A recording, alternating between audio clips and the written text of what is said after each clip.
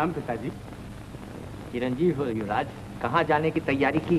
शिकार को जाना चाहता हूँ पिताजी। आज्ञा? आज्ञा और आशीर्वाद दोनों। किंतु याद रहे पिछली पूर्णिमा की तरह लौटने में विलंब न हो। जो आज्ञा। और देखो अपनी साथियों से दूर ना हो जाना हमें चिंता हो जाती है। चिंता न कीजिए पिताजी। गंगाधर मेरे साथ थे। रक्षा?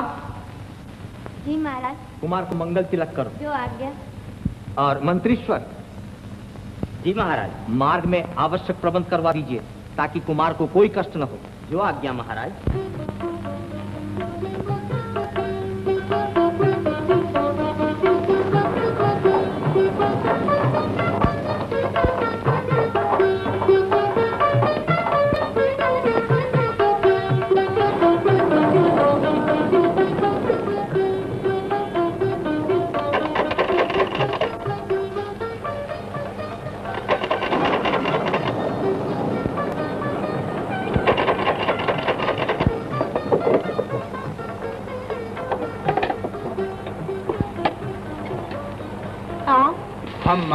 गए हैं। आज की रात आश्रय मिल सकेगा। क्यों नहीं? भगवान के संसार में सभी आश्रय ले रहे हैं। तुम्हें क्यों नहीं मिलेगा? आओ, भीतर आ जाओ।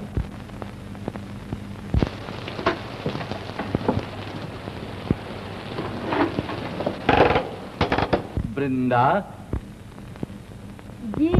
अतिथि के लिए भोजन का प्रबंध करो। नहीं नहीं कष्ट न कीजिए। हमें भूख नहीं है। फिर भी आपकी बात कैसे टाल सकते हैं? जो कुछ होगा खा लेंगे। पेट में चूहे दौड़ रहे हैं। किंतु पहले बदलने के लिए कुछ वस्त्र चाहिए। हाँ आइए।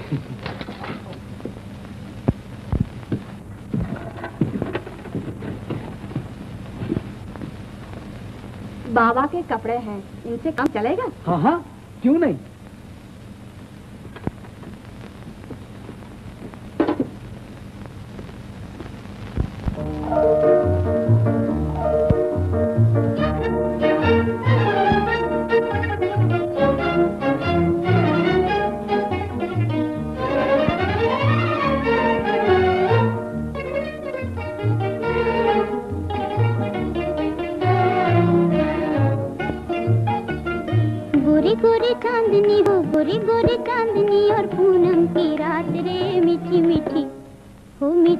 मीठी साजना से होगी मन की बात रे, होगी मन की बात रे। गोरी गोरी चांदनी हो, गोरी गोरी चांदनी और पूनम की रात रे। मीठी मीठी हो मीठी मीठी साजना से होगी मन की बात रे, होगी मन की बात रे।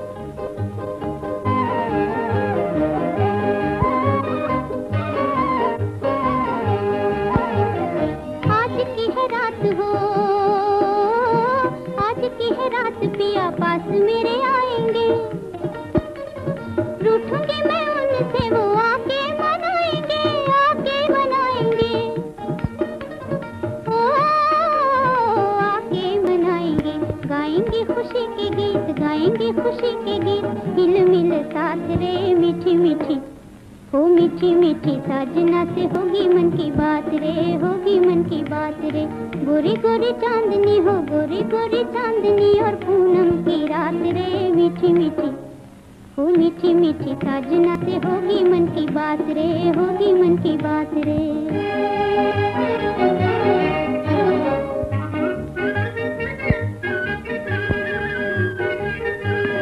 ठंडी ठंडी पवन सलोनी मन भाई रे। ठंडी ठंडी पवन सलोनी मन भाई रे।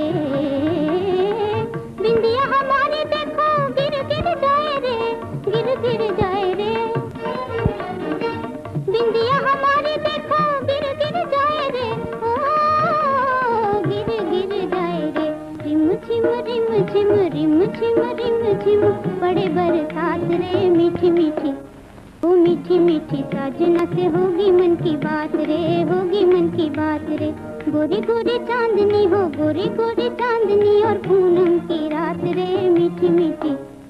ओ मीठी मीठी साजना से होगी मन की बात रे, होगी मन की बात रे।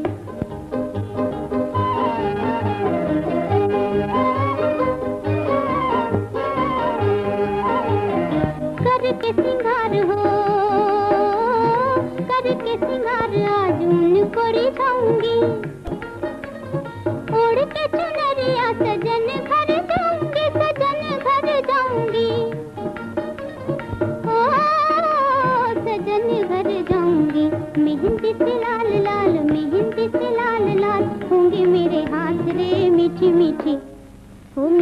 मीठी साजना से होगी मन की बात रे होगी मन की बात रे। गोरी गोरी चांदनी हो गोरी गोरी चांदनी और पूनम की रात रे। मीठी मीठी हो मीठी मीठी साजना से होंगी मन की बात रे होंगी मन की बात रे।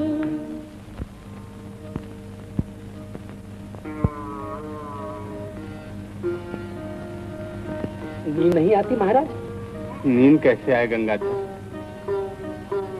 तन का पिंजरा यहाँ पड़ा है। मन है उसके पास। हाँ युवराज आप यहाँ चंद्रमा को देख रहे हैं और वहाँ तारामती जी तारे गिन रही होंगी। हाँ तारामती। वो बेचारी व्याकुलता के साथ मेरी राह देख रही है। इसकी चिंता आप न करें युवराज। राह देखने से और विरह की वेदना से प्रेम का रंग पकता है। प्रेम पुराण में लिखा है राह तकत नए ना तकत थकत प्रेम पक जाए। और बकता बकता बकता।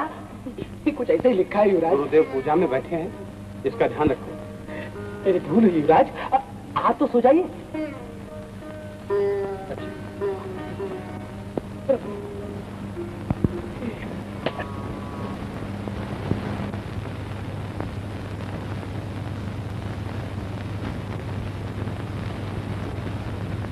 भूदेव की पूजा पूरी हो गई।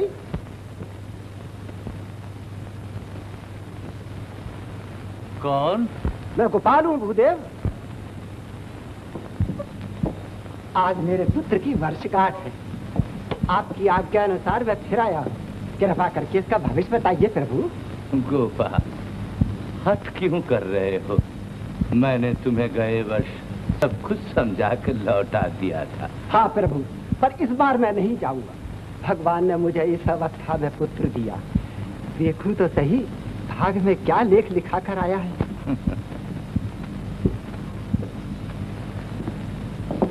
मैंने तुम्हें पहले भी समझा दिया था, गोपाल, कि संसार में किसी भी पिता को अपने पुत्र का भविष्य जानने की इच्छा नहीं रखनी चाहिए।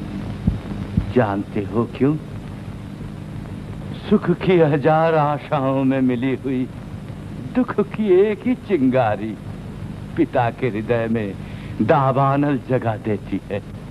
कोई भी पिता अपने पुत्र का दुख नहीं सहन कर सकता। इसीलिए स्वजनों के सम्मुख मैं किसी का भविष्य वेद नहीं खोलना चाहता। फिर भी आप मुझे निराश नहीं करेंगे, भूदेव। हृदय में कितनी आशाएँ लिए। मैं हर वर्ष गांठ पर आपके पास आता हूँ और आपकी आज्ञा मानकर लौट जाता हूँ। इसी प्रकार दस वर्ष बीत गए। आज तो मेरी आशा पूरी कीजिए भूदेव जैसी प्रभु की आज्ञा और तुम्हारी इच्छा। आओ।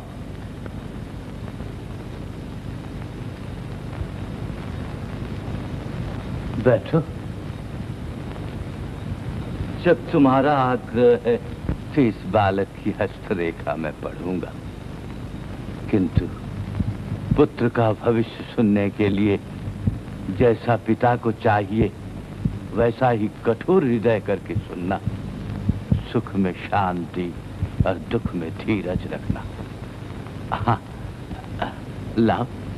बालक का दाहिना हाथ मेरे हाथ में दो। हरिओम तत्सत।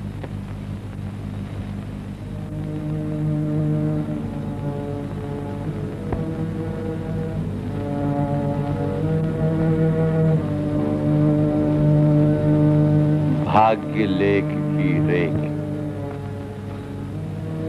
कोई आगे, कोई पीछे। कोई ऊँची, कोई नीची। जगत में जन्म लिया माता पिता को आनंद देने के लिए। रूप गुण में उत्तम, कार्य में कारीगर। किसी के ऊपर निर्भर न रहने वाला। स्वाभिमानी, स्वमान प्रिय, प्रतापी, पिता का नाम उज्जवल करने वाला, माता की कोख यशस्वी बनाने वाला सुपुत्र।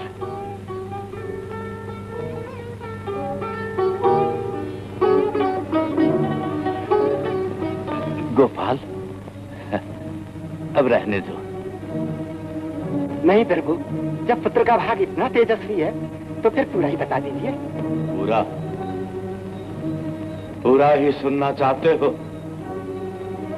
अच्छा तो सुनो। पत्थर का हृदय करके सुनो। तुम्हारा पुत्र जगत की जीवन लीला बीस वर्ष में संपूर्ण करके आज से ग्यारहवीं वर्ष गांठ पर माता पिता से मुँह मोड़कर संसार यात्रा समाप्त करके चल बसे।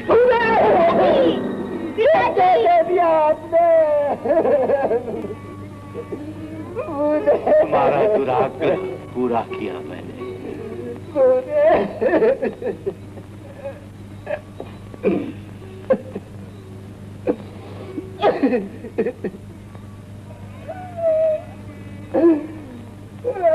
धीरज रखो।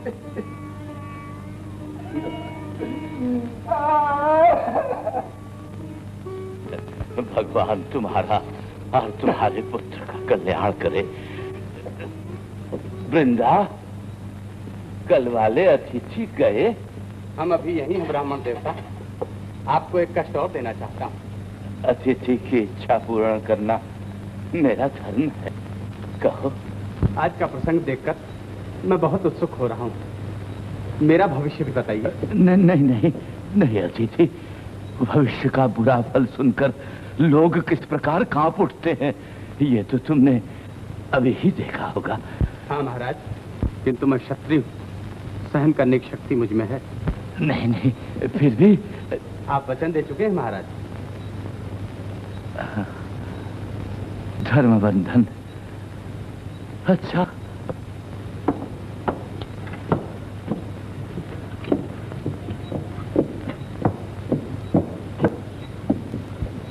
जैसी प्रभु की इच्छा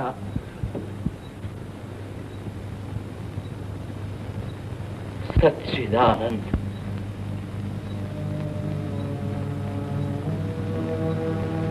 आपने अपना परिचय मुझसे छिपाया है। हाथ की रेखाएँ कहती है आप कोई साधारण पुरुष नहीं। कुलवंत राजवंशीय है। राजवीर महाप्रतापी, आर्यावर्त के चक्रवर्ती नरेश, सम्राटों के सम्राट होंगे।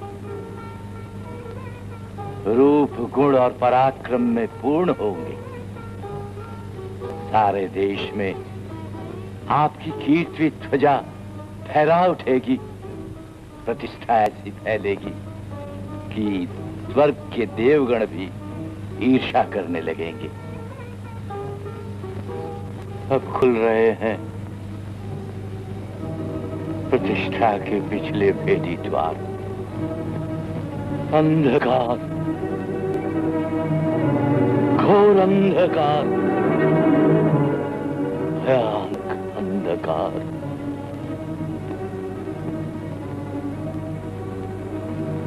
राज्य बाट चला जाएगा। भाग्य लक्ष्मी रूठ जाएगी।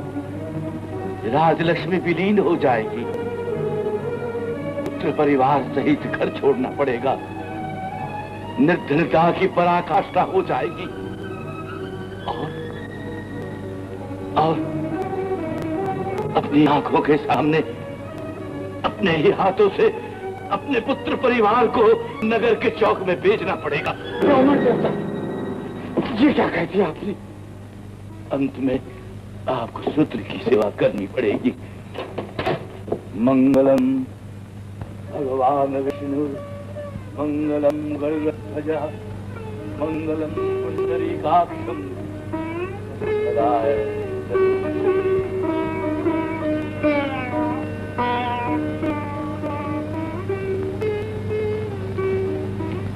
राजकुमारी राजकुमारी जी। क्या? वो आप कौन थे? आप कहाँ है? लता कुंज में।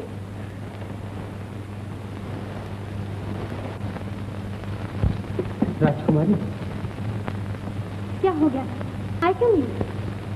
कुछ ऐसी ही बात हो गई थी। राजकुमार पूनम की रात भूल तो नहीं गए? तुम्हें रात देखनी पड़ी विलम्ब के लिए। क्षमा रात दिखाने वाले रात देखने वाली की व्याकुलता क्या जाने? जाइए मैं आपसे नहीं बोल राजकुमारी।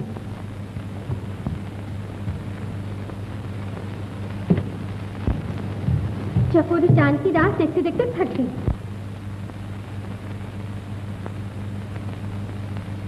क्षमा करो राजकुमारी। मार्ग में हमें एक भयानक आंधी ने घेर दिया। बरसात बैरन हो गई किंतु मेरे हृदय की आंधी और इन नैनों की बरसात आपको खींची लगी अच्छा ये तो बताइए आश्रय कहाँ मिली? आशय तो मार्ग में मिल गया किंतु साथ साथ जीवन में एक नई आंधी उठ खड़ी थी हृदय में एक नई ज्वाला लहक उठी। शांति की एक भी किरण कहीं दिखाई नहीं देती देवी। क्या ये सब तुम्हें कहकर मैं दुखी नहीं करना चाहता। कहिए ना।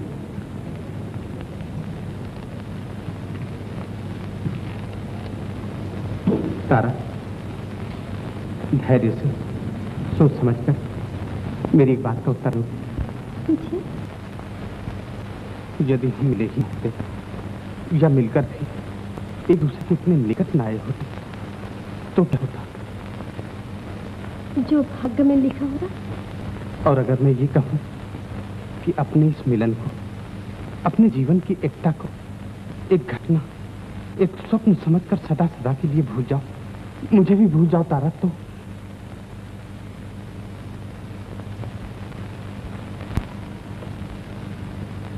तो पृथ्वी पर से एक जीव कम हो जाएगा। और क्या होगा? फिर भी इतना तो बताइए। अयोध्या के राजकुमार अपने पिता की आज्ञा पालन कर रहे हैं? या उन्हें तारामती में कोई दोष दिखाई दे रहा है? दोष?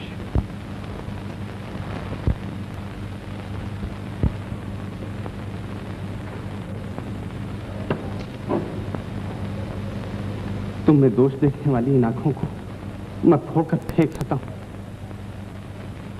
पर होनहार को नहीं रोक सकता। मैं आज ही एक विद्वान ब्राह्मण के मुँह से ये भविष्यवाणी सुनकर आया हूँ कि मुझसे विवाह करने वाली स्त्री सुखी नहीं रह सकती, सुखी नहीं रह सकती। स्त्री का सुख पति के चरणों में ही होता है। मेरा सुख और दुख तो जन्म जन्मांतर तक। आपके साथ जुड़ा हुआ है। तारा ये कौन है? महाराज एक अनजान युवक देवार कूद कर राजकुमारी के बागीचे में गया है किंतु उसका यह साथी पकड़ लिया गया है। झूठ महाराज बिल्कुल झूठ। ये लोग कुछ नहीं समझते बाला दूर रखो। राजकुमारी राजकुमारी। क्या हुआ लता? युवराज का साथी पकड़ा गया है और महाराज इधर आ रहे हैं। अब क्या होगा? इसमें घबराने की क्या बात है राजकुमारी? सैनिक इसे साथ ले आ इससे साथ ब- बंधु बंधु बंधु इस तीक्ष्ण भाले को मेरे शरीर से दूर ही रखो। मैं स्वयं चलता हूँ।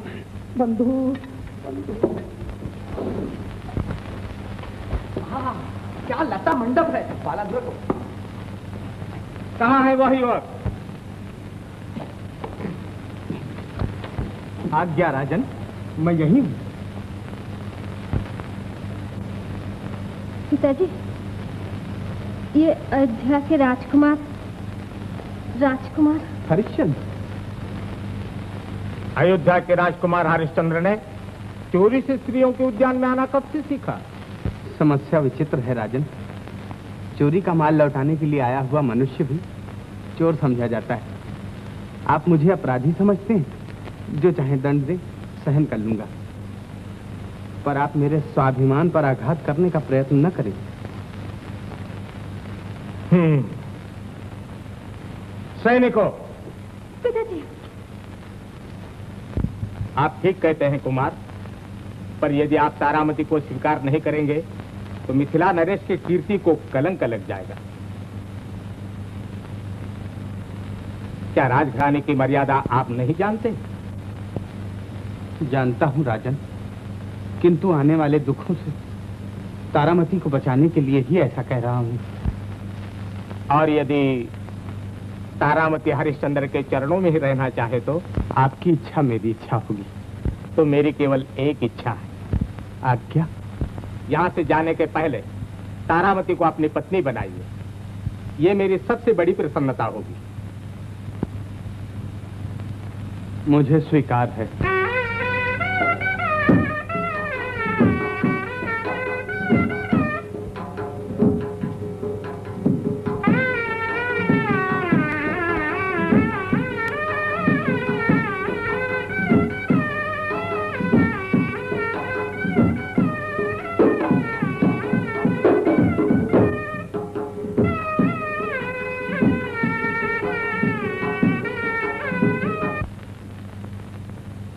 कहीं पता न लगा ये कहते हुए तुम्हें लज्जा नहीं आती। याद रहे, कुमार पर कोई विघ्न आया मैं तुम्हें कठोर से कठोर दंड दूँगा। महाराज की जय हो, युवराज राजमहल में पधार गए हैं। कहाँ है? कहाँ है? कुमार कुशल तो है। कुशल है महाराज, किंतु आते ही अपने शयनागार में चले गए। बहुत थके हुए मालूम होते थे। अच्छा आराम करने दो। युवराज, भोजन के लिए महाराज आपको बुला रहे हैं। कह दो हमें भोजन की इच्छा नहीं है।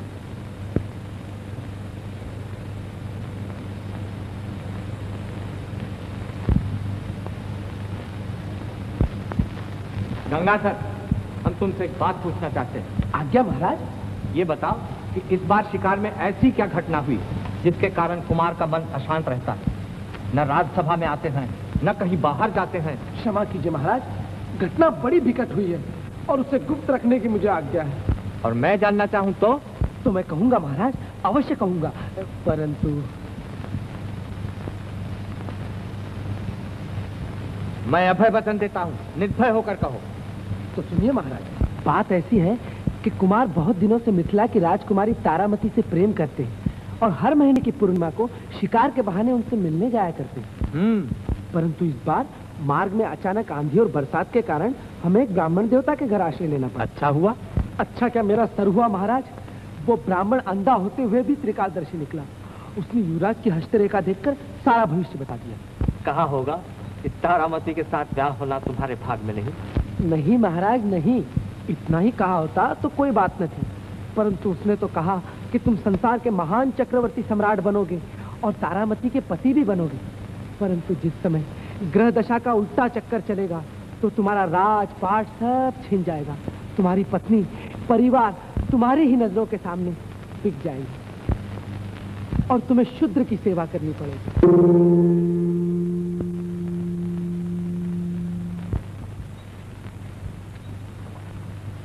बस महाराज, ये सुनकर युवराज बड़े दुखी हुए। यहाँ तक कि तारामती को भी कहने गए कि तुम मुझे भूल जाओ और किसी दूसरे से ब्याह करके सुखी रहो। परंतु मिथिला नरेश को जब ये पता चला तो कुमार को गंधर्व विवाह करके ही लौटना पड़ा। मुझे क्षमा करें महाराज, जो हुआ तो कहा, इसमें मेरा क्या दोष? दोष किसी का भी नहीं। क्षत्रिय का बालक ब्याह करके घर आए। इसमें लजाने या डरने की कौन सी बात है? मिथिला की राजकन्या और अयोध्या के राजकुमार। ये संबंध तो रघुकुल की शोभा है। महामंत्री! आज्ञा महाराज। बड़े आदर और स्वागत के साथ तारामती को लिवा लाने का आमंत्रण भिजवाओ। मिथिला नरेश को हमारा अभिनंदन कहलवाओ। जो आज्ञा महाराज। और वे अंधे ब्राह्मण देवता कोई शक्तिशाली पुरुष जान पड़ते हैं। गंगाधर से पता पूछकर उन्हें भी हमारा आमंत्रण भिजवाओ। बहुत अच्छा महाराज। अच्छा जाओ गंगाधर आज्ञा महाराज? युवराज से जाकर कहो ब्याह के बाद पिता को प्रणाम करके आशीर्वाद तो ले। हमने सब कुछ क्षमा कर दिया है। जो आज्ञा महाराज।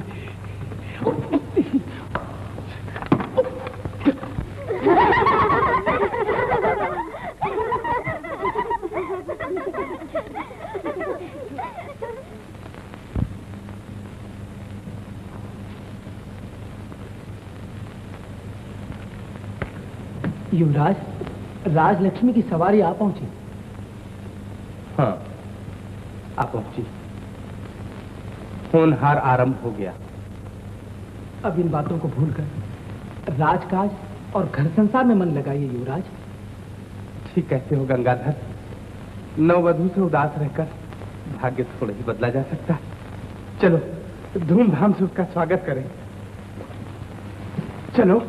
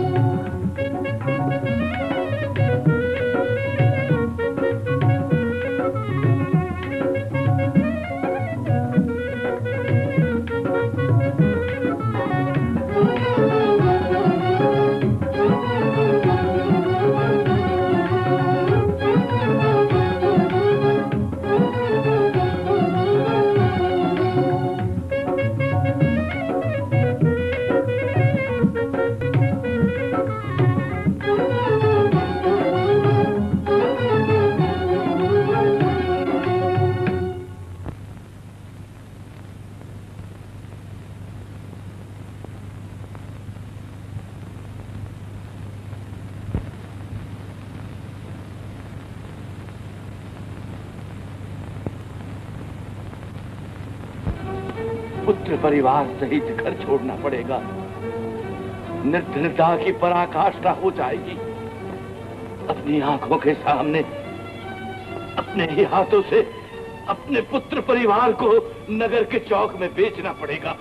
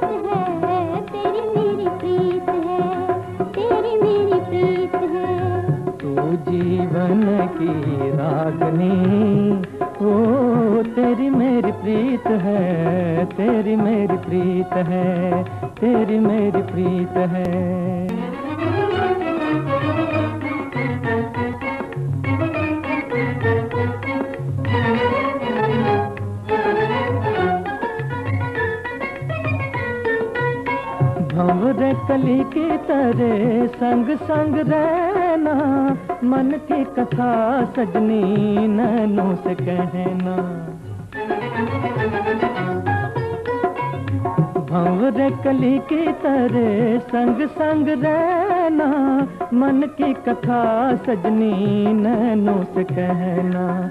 भंवरा कली रहे साथ रे। ओ, तेरी मेरी प्रीत है, तेरी मेरी प्रीत है, तेरी मेरी प्रीत है।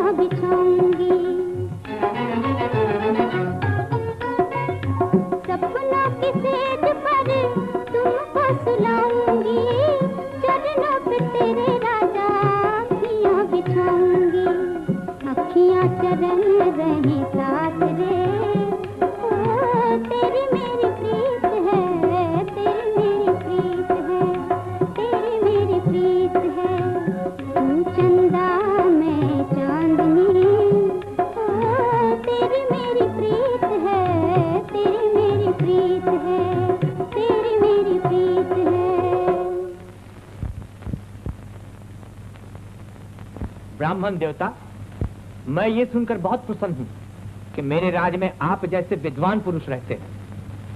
आपकी विद्या के बारे में मैंने बहुत कुछ सुना है। आज्ञा कीजिए महाराज कहिए मैं आपकी क्या सेवा कर सकता हूँ? मैं युवराज का भविष्य जानना चाहता हूँ। कृपा करके मुझे और मेरी प्रजा को बताइए कि युवराज का भाग्य लेख कैसा बलवान है। क्षमा कीजिए महाराज अयोध्यापति होने के साथ साथ युवराज के पिता भी हैं और जगत में किसी भी पिता को अपने पुत्र का भविष्य जानने की इच्छा नहीं करनी चाहिए। कारण? पिता का प्रेम और भावी दुख की कल्पना। इसकी चिंता आप न करें भूदेव। मैं अपनी इच्छा का पालन चाहता हूँ। दुराग्रह को भी यदि राज इच्छा समझने की आज्ञा है तो मुझे ये शिरोधार्य है। मैं युवराज की भाग्य रेखा पढ़ने का प्रयत्न अवश्य करूँगा।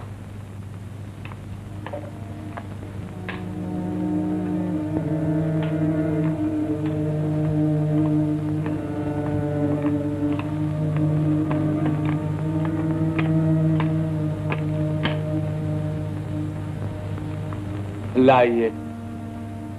युवराज का दाहिना हाथ मेरे हाथ में दीजिए।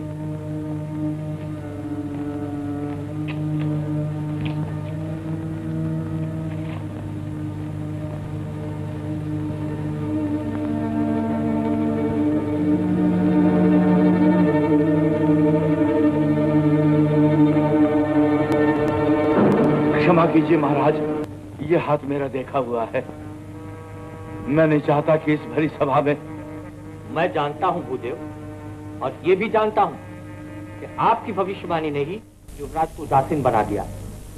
मैं चाहता हूँ कि युवराज के मन का ये भ्रम आज ही दूर हो जाए।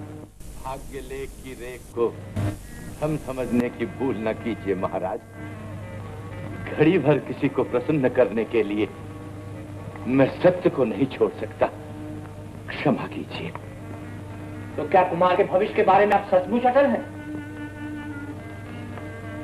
पर्वत की तरह। इसकी सच्चाई सिद्ध कर सकते हैं आप? ये तो समय सिद्ध करेगा।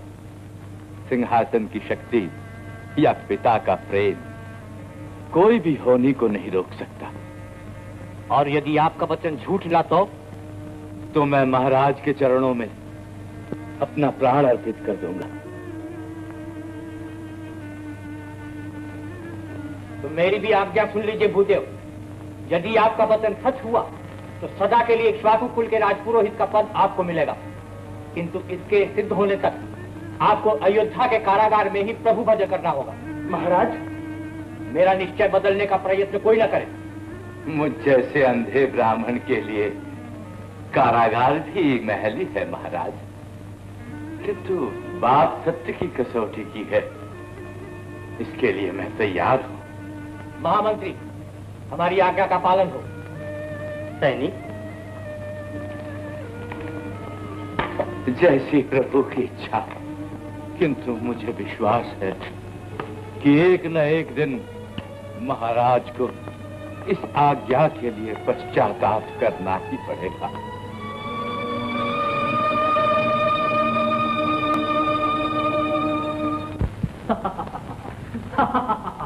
महामंत्री मेरी कल्पना में भी न था। इतना सुख आज मुझे मिला है। अब तो युवराज भी भविष्य का डर भूल गए हैं। हाँ महाराज भगवान की कृपा से वे सब कुछ भूलकर आनंद सागर में गोते लगा रहे मेरी भी यही इच्छा हो रही है कि पुत्र के घर पुत्र आ जाए राजपाट का भार युवराज पर छोड़कर शांति से जीवन बिता दूँ। महाराज का बड़ा भाग्य। इतना बड़ा भाग पाकर तो मनुष्य पागल हो जाए महामंत्री। पागल हो जाए वो अंधा ब्राह्मण। युवराज को भरमाकर धन लूटने का विचार करता था। वो आज कारागार में सड़ रहा है। बाकी युवराज और सुतार का लड़का दोनों ही मौज कर रहे हैं। हाँ हाँ ठीक याद दिलाई महामंत्री।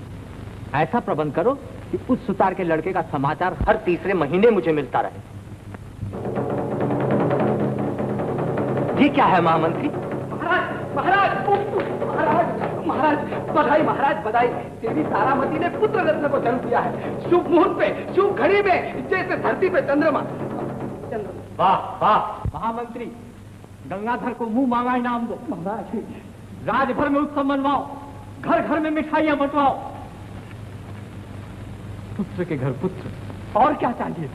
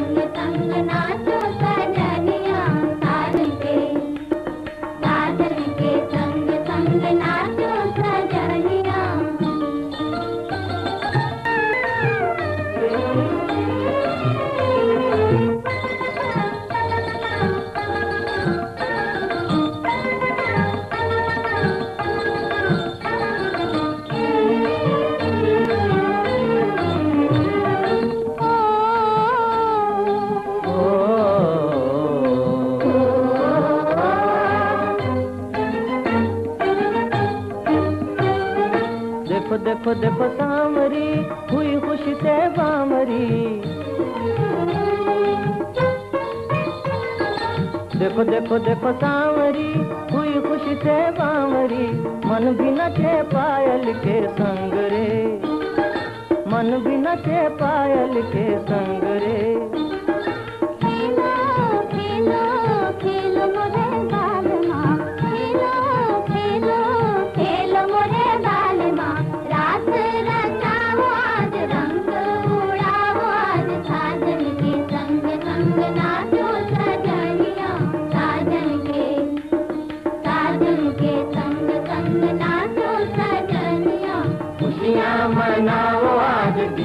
दीपक जलाओ आज सागर के संग संग नाचो सजनिया सागर के सागर के संग संग नाचो सजनिया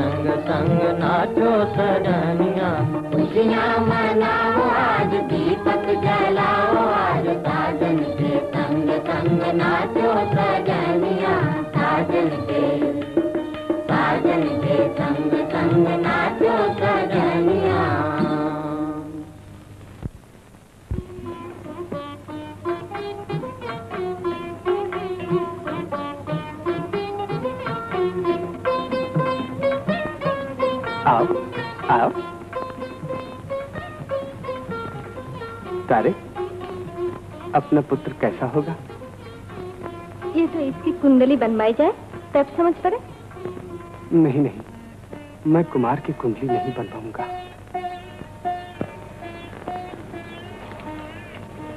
मैं कुमार की कुंडली नहीं बनवाऊँगा। किसी भी पिता को पुत्र का भविष्य जानने की इच्छा नहीं करनी चाहिए। ये अचानक आपको क्या हो जाता है ना? रह रहकर किन विचारों में आप उलझ जाया करते हैं? अच्छा जाने दीजिए।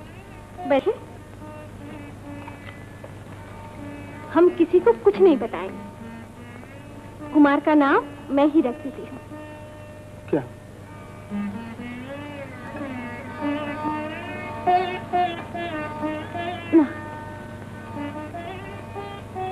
रोहित कहिए कैसा नाम हुआ? रोहित। रोहिताश्व। बता लेना सुंदर।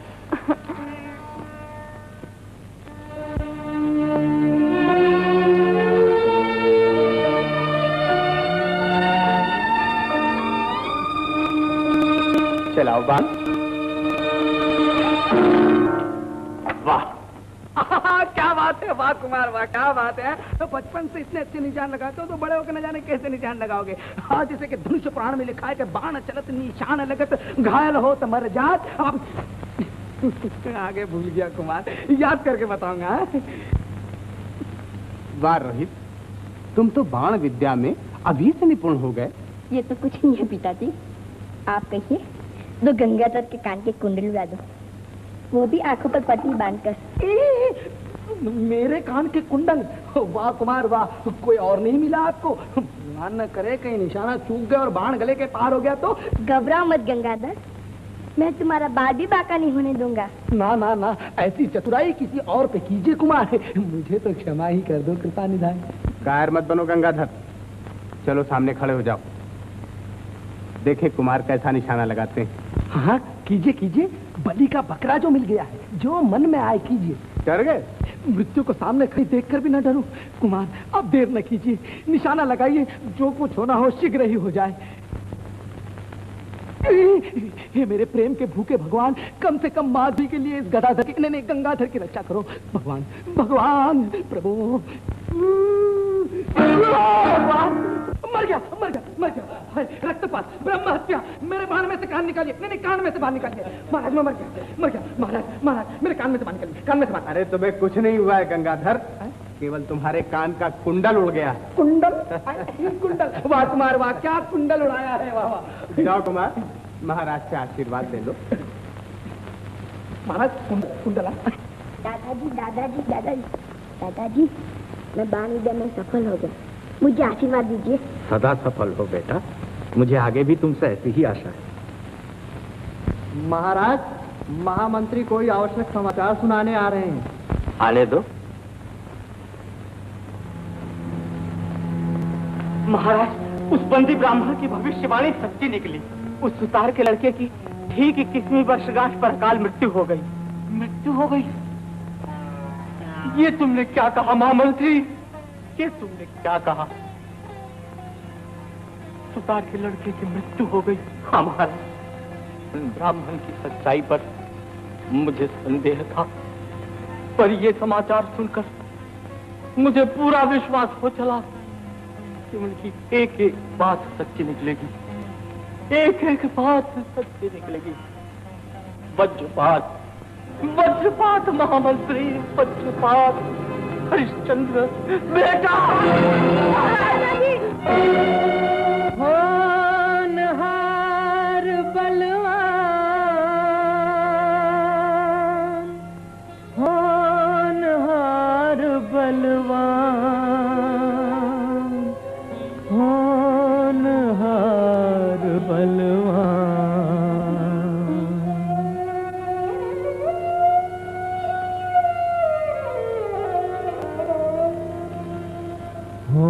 होनहार बलवान मनवा होनहार बलवान। होनहार बलवान, मनवा होनहार बलवान।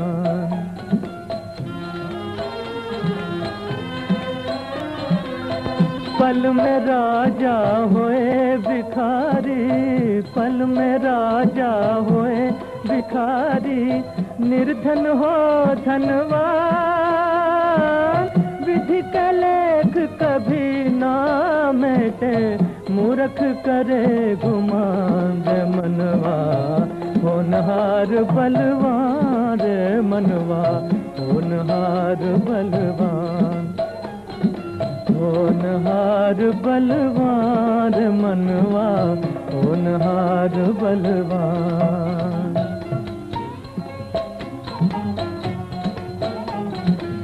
कहीं पर धूप कहीं अंधेरा। कहीं पर धूप कहीं अंधियारा कर्म अधीन विश्व है सारा। कर्म अधीन विश्व है सारा। जड़ चेतन मुनि मानव दानव। जड़ चेतन मुनि मानव दानव। विधि का यही विधान रे मनवा। होनहार बलवान रे मनवा। होनहार बलवान। होनहार बलवान मनवा होनहार बलवान। भाग अधीन भटकते हैं ये। सूरज चाँद सितारे। कर्म योग से ही चलते हैं। दुनिया के क्रम सारे। कर्म अधीन बदलते रहते, कर्म अधीन बदलते रहते हैं। युग युग भगवान मनवा होनहार बलवान रे मनवा होनहार बलवान। होनहार बलवान रे मनवा होनहार बलवान। होनहार बलवान रे मनवा होनहार बलवान। होनहार बलवान रे मनवा होनहार बलवान प्रणाम ब्राह्मण देवता। कौन? मैं हरिश्चंद्र। अयोध्यापति पधारिए पधारिए। राज्याभिषेक हो गया। हाँ प्रभु। इतनी रात गए इस ब्राह्मण को कैसे याद किया? जीवन का एक गंभीर प्रश्न पूछने आया हूँ। कहिए आप तो जानते ही हैं कि पिताजी का स्वर्गवास हो चुका है। हाँ। और आप मेरे लिए इतने वर्षों से कारावास की यातना भोग रहे हैं ये अब मैं नहीं सहन कर सकता। मेरी चिंता न कीजिए राजन। मैं नहीं चाहता कि आपके हाथों कारावास से मुक्ति पाकर आपके पिता को दिए हुए वचन भंग करूँ और सत्य का साथ छोड़ दूँ। कहिए राजन और कोई प्रश्न है? जब से आपने मेरा भविष्य बताया हृदय को शांति नहीं तारामती से मेरा विवाह हुआ भगवान की कृपा से एक पुत्र रत्न भी हुआ अयोध्या के सिंहासन पर बैठकर राज का भार संभाल रहा हूँ फिर भी शांति नहीं। कोई ऐसा उपाय नहीं कि भावी अंधकार से अपने परिवार को बचा सके। राजन होनी यदि अनोनी हो जाए तो उसे होनी कौन कहे? भाग का लिखा तो मनुष्य को भोगना ही पड़ता है। ये तो मैं जानता हूँ देव। किंतु जब जगत में शाप मिटाने का उपाय होता है विष उतारने की औषधि होती है तो भाग्यलेख बदलने का कोई उपाय नहीं। नहीं। तो फिर पहले ही भविष्य जान लेने से क्या लाभ? लाभ? मनुष्य आने वाली विपत्ति का सामना कर सके। नीति और धर्म के आचरण से दुख सहने की शक्ति पा सके। तो बताइए गुरुदेव जगत की सर्वश्रेष्ठ नीति और धर्म क्या है? मन वचन कर्म से मैं उसका पालन करूँगा। अपने आचरण से कभी किसी का मन न दुखाना। संसार में इसके समान कोई नीति नहीं। और धर्मों में सर्वश्रेष्ठ धर्म सत्य है। सर्वदा सत्य के पालन करने वाले का कभी कोई अहित नहीं होता। तो मैं अयोध्यापति राजा हरिश्चंद्र, आपके चरण छूकर प्रतिज्ञा करता हूँ कि आज से सर्वदा मन वचन कर्म से सत्य का पालन करूँगा। स्वप्न में भी असत्य का आचरण नहीं करूँगा और अपने कार्य से कभी किसी का मन नहीं दुखाऊँगा। तो सदा आपकी जय होगी राजन। मेरा आशीर्वाद है।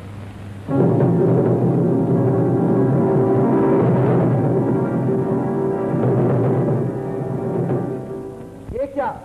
देवराज इंद्र का सिंहासन डोलने क्यों लगा? किसी ने तब तो नहीं आरंभ कर दिया? या किसी महायज्ञ का प्रताप है?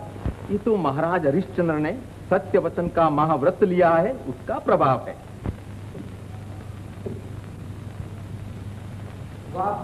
धन्य है वो राजा। बिना समझे मुझे धन्यवाद न दीजिए देवराज। सत्य वचन के संकल्प मात्र से ही कुछ नहीं होता। ये संकल्प नहीं प्रतिज्ञा है ऋषिराज। और सत्य क्या है ये आप जानते हैं। इसके पुण्य के आगे सहस्रों वर्ष की तपस्या कुछ नहीं। लीजिए। इक्ष्वाकु कुल के गुरु बोल उठे। तो यही कहिए ना कि देवराज इंद्र का सिंहासन अब आपके उस सत्यवादी को मिलने वाला है। क्रोध न कीजिए राजर्षि। सत्य तो ये है कि सत्य को स्वीकार करने से आपका अहंकार आपको रोकता है। कारण वो मेरे शिष्य कुल का कुलदीपक है। महर्षि वशिष्ठ।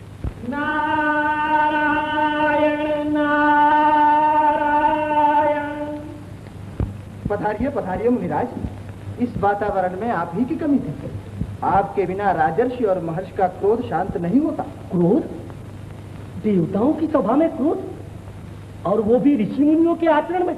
नारायण नारायण शांत होइए और न्याय से इस मतभेद का निवारण कीजिए। मतभेद का निवारण? और वो भी वशिष्ठ के साथ? मुझे देखना है कि सत्य धर्म का व्रत लेकर इनका हरिश्चंद्र कौन सी सिद्धि पाता है? ओहो तो प्रसंग राजा हरिश्चंद्र का है। मैं भी अयोध्या से ही आ रहा हूँ। क्या बताऊँ? न्याय नीति उदारता में हरिश्चंद्र का जोड़ नहीं इस पर उनके सत्य धर्म की प्रतिज्ञा। आ हा हा। बहुत हुआ बहुत हुआ मुनिराज। बातें बढ़ा के कहने की तो आपकी टेव है। इसी भय से तो कम कह रहा हूँ। नहीं तो मैं तो उस पर पुराण लिख दूँ। उसके सत्य पर। सृष्टि का धर्म तो हम जैसे ऋषि मुनियों के तपोबल पर टिकता है। परीक्षा न हो तब तक ऐसे सत्यवादी अनेक बने मिलेंगे। तो इस परीक्षा के लिए आपको मेरा आमंत्रण है राजर्षि। अग्नि में घी न डालिए महर्षि। नहीं तो क्या कर सकते हैं? विश्वामित्र क्या कर सकते हैं देखना है। मेरी शक्ति की परीक्षा करना चाहते हैं तो सुनिए। देवगण देवर्षि और धर्मराज मैं आप सबके सामने हरिश्चंद्र का सत्य धर्म खंडन करने की प्रतिज्ञा करता हूँ। और ये प्रतिज्ञा पूरी न हुई तो?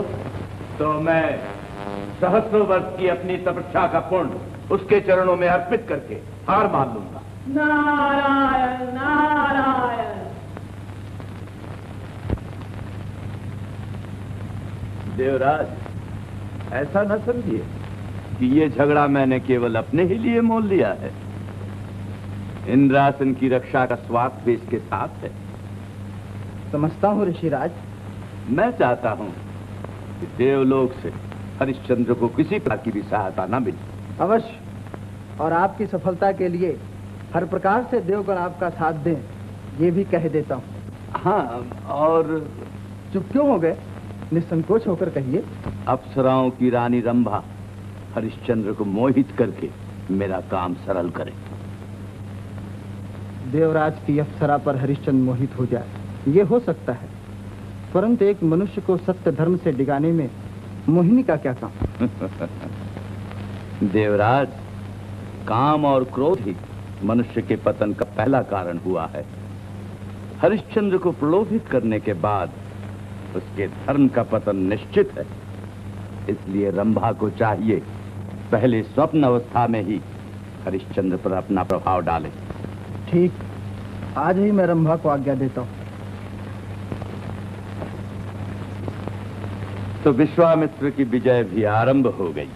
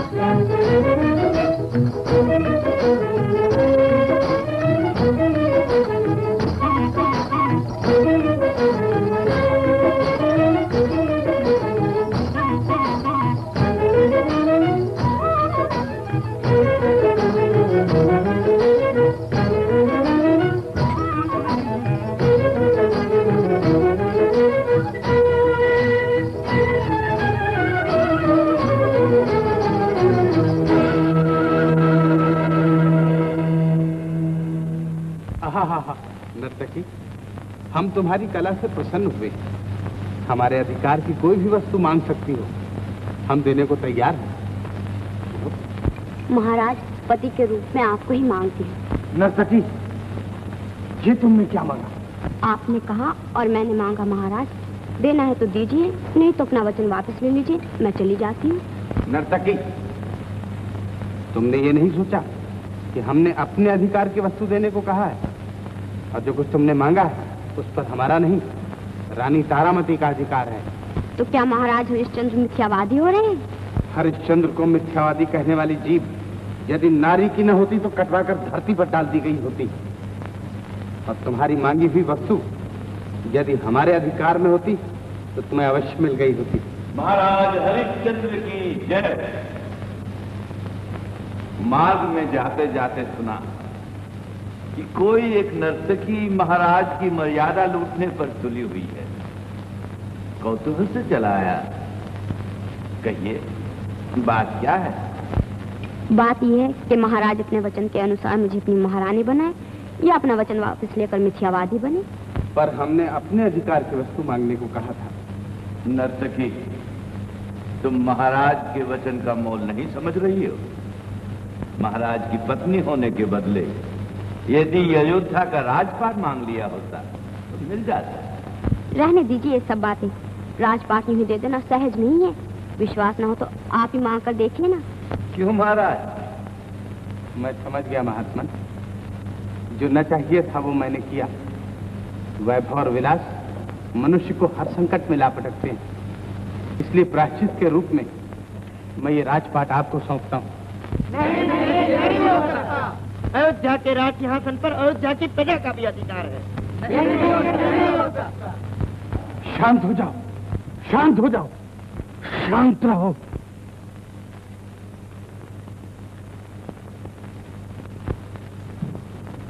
क्या हुआ? क्या हुआ आपको? हाँ? हाँ? अ, कुछ नहीं कुछ नहीं। तुम घबरा के क्यों जाग उठे क्या कुछ बुरा सपना देखा? बुरा?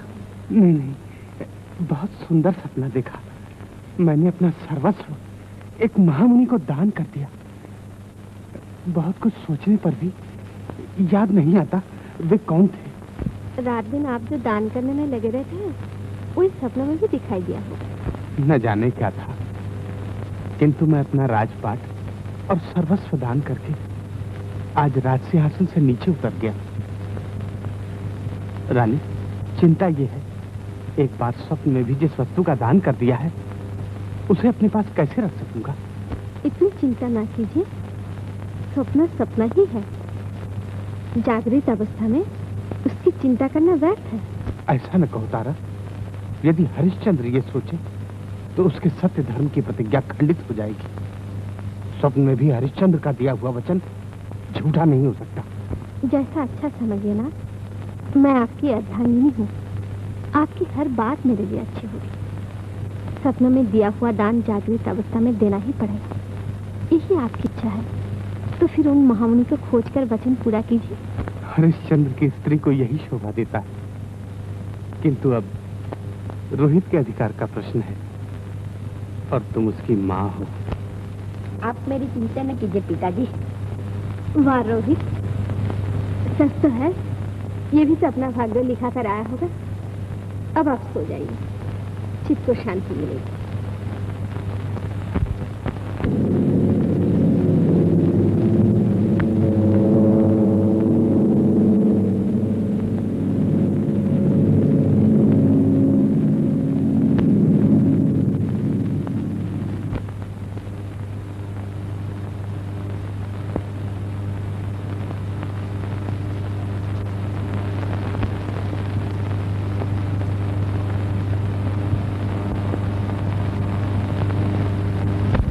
क्या देख रहे हैं महाराज? महामंत्री भविष्य का आदेश देख रहा हूँ।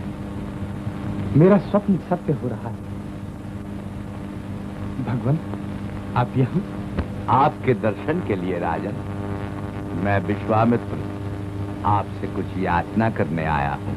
आज्ञा दीजिए। मैं अपना सर्वस्व आज ही स्वप्न में आपको दे चुका हूँ। संयोग से आप स्वयं आ गए। मेरा अहोभाग्य अब ये राजपाट आप ही का है। इसे स्वीकार कीजिए। राजन कहाँ राजा हरिश्चंद्र का राज सिंहासन? और कहा मैं एक तपस्वी विश्वामित्र? अब तपस्वी विश्वामित्र नहीं महाराज विश्वामित्र कहिए ऋषिराज। किंतु ऐसे महादान को स्वीकार करना मेरे लिए उचित नहीं। पर महाराज दिए हुए दान को वापस लेना भी तो मेरे लिए उचित नहीं। तो क्या महाराज हरिश्चंद्र सचमुच अपना सर्वस्व मुझे दान कर रहे हैं। धर्म इसका साक्षी है। जगत क्या कहेगा? यही कि हरिश्चंद्र ने राजपाट देकर सत्य धर्म का पालन किया। कृपा करके मेरे साथ पधारिए।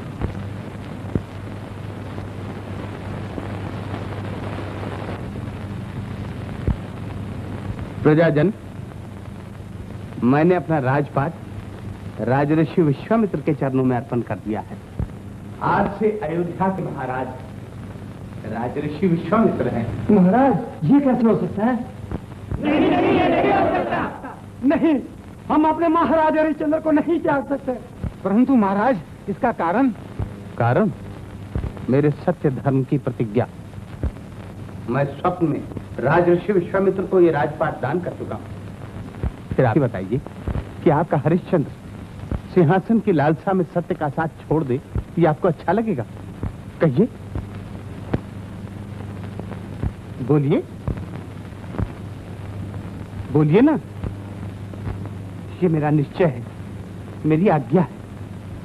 मेरी इच्छा है। मेरी विनती है। आप इसका अनादर न करें। पधारिए राजर्षि। अब सबकी सम्मति से ये सिंहासन ग्रहण कीजिए।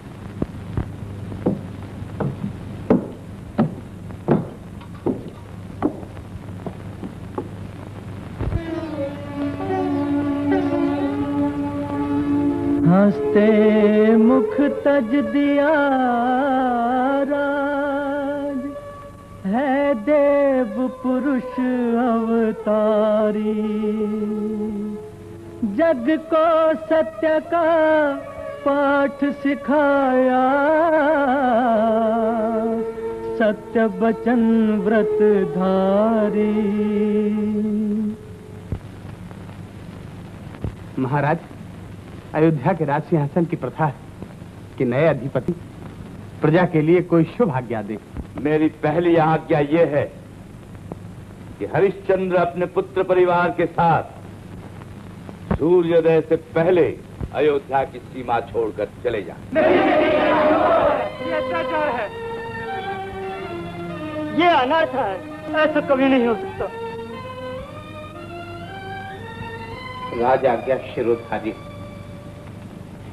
सज्जनों जिस श्रद्धा और भक्ति से मैं राज आज्ञा को मान रहा हूँ, उसी प्रकार आप भी राज आज्ञा का पालन कीजिएगा। इसी में मेरी, आपकी और अयोध्या की शोभा है। आप सबको प्रणाम।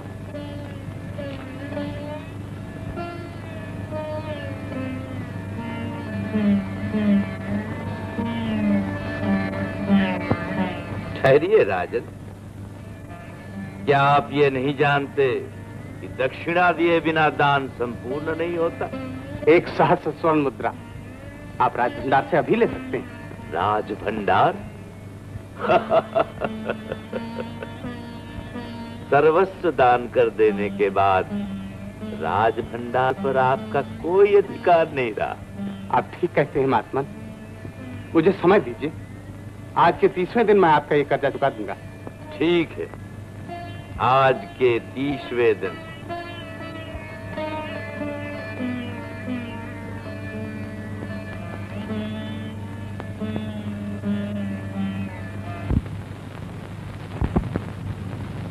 केवल सवावन सोना के लिए इतनी उदासी क्यों गंगाधर ये कोई बड़ी बात नहीं है। क्या करूँ महारानी जी? कन्या का पिता जो कुछ कराए थोड़ा मैंने निश्चय कर लिया। एक बार भीख मांग कर भी सवामन सोना उसे दे दूँ? फिर वो है और मैं हूँ। हाँ। अच्छा ठहरो। दासी? जी। भंडारी से कह दो कि गंगाधर को जितना चाहिए उतना सोना राज भंडार से दे दो। नहीं।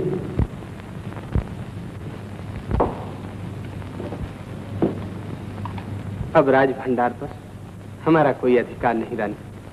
क्या कहा ना? राज भंडार पर हमारा कोई अधिकार नहीं? क्या कल का सपना इतनी जल्दी सच हो गया? हाँ देवी। स्वप्न में किया हुआ दान आज सचमुच मैंने महाराज विश्वामित्र को दे दिया। राज सिंहासन पर बैठे हुए राजऋषि की यह पहली आज्ञा है कि मैं कुटुंब सहित अयोध्या छोड़कर चला जाऊँ। महाराज। आश्चर्य न करो देवी। ब्राह्मण देवता की वाणी सत्य हुई। मैंने महामंत्री से कह दिया है कि वो तुम्हें और रोहित को मिथिला छोड़ आए। सिंहासन दान कर देने वाले अयोध्यापति इतनी कठोर बात कह सकते हैं। पर आप ही बताइए नाथ पिता के स्तर पर बोझ बनकर रहना मेरे लिए ठीक है या पति के दुख में भाग लेना उचित है? आने वाले संकटों को सोचकर ही मैंने ये कहा है देवी। नाथ सत्य धर्म पालन करने के लिए अयोध्यापति जब एक साधारण मनुष्य की तरह संसार में भटक सकते हैं तब उनकी धर्म पत्नी भी इस कसौटी से कभी नहीं टिक सकती।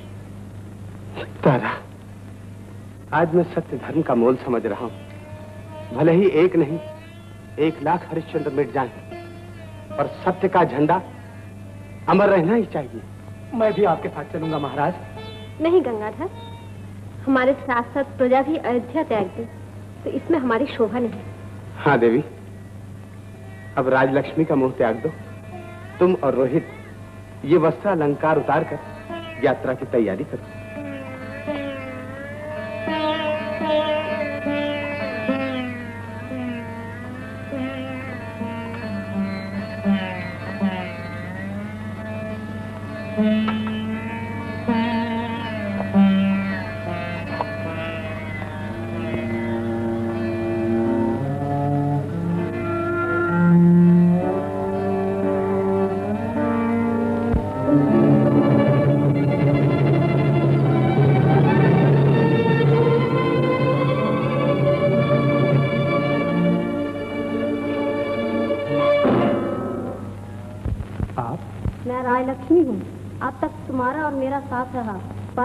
यहाँ से जा रही हूँ।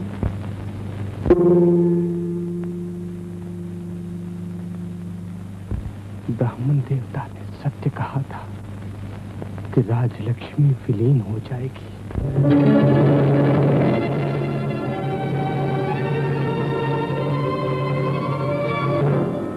मैं भाग्य देवी हूँ। मुझे भी जाना ही चाहिए। मैं जानता हूँ राजलक्ष्मी के विलीन होते ही तुम भी रूठ जाओगी। कोई बात नहीं। मैं धर्म के लिए सब कुछ सह लूँगा।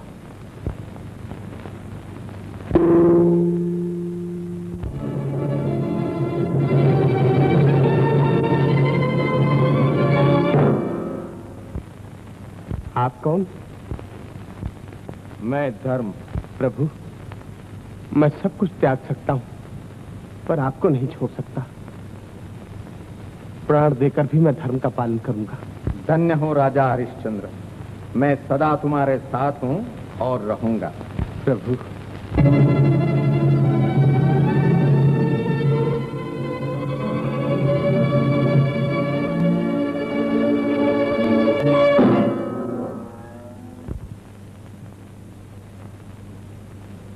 चलिए ना। आ गए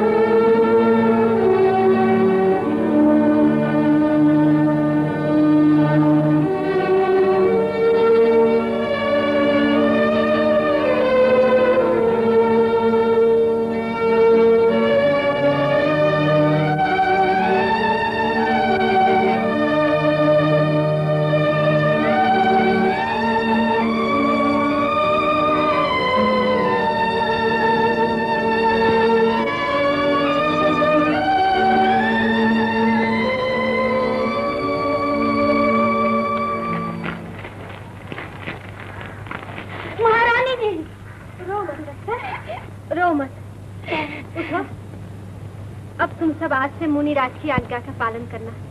हाँ?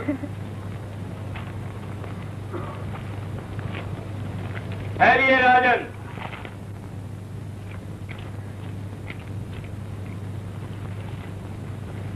राजन सब कुछ दान कर देने पर भी कुमार के पाँव में ये अमूल्य। क्या ये राज की वस्तु नहीं है?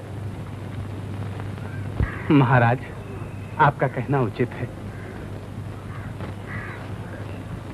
पर आपकी आज्ञा का पालन हो चुका।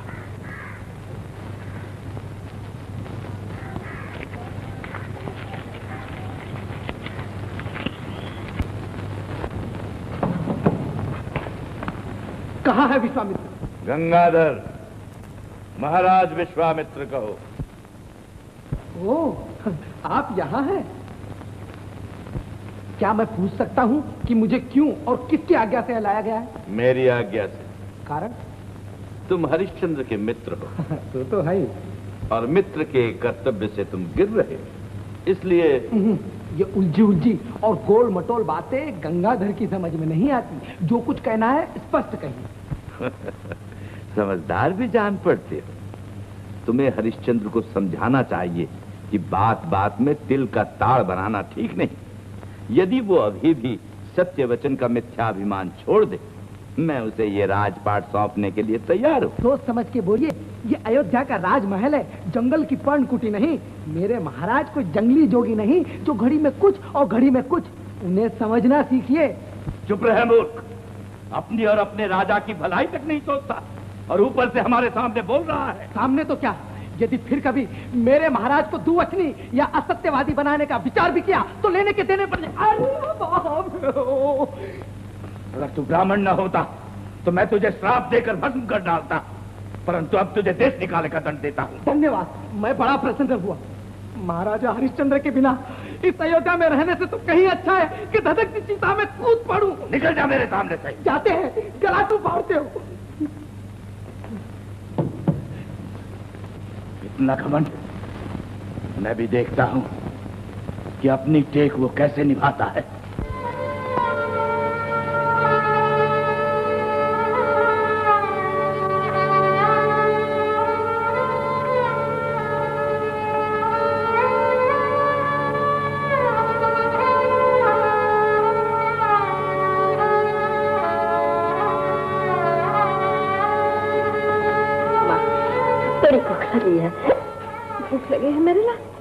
देखो बेटा अभी हमें काम धंधा मिल जाएगा तो शाम तक भोजन का उपाय भी हो जाएगा।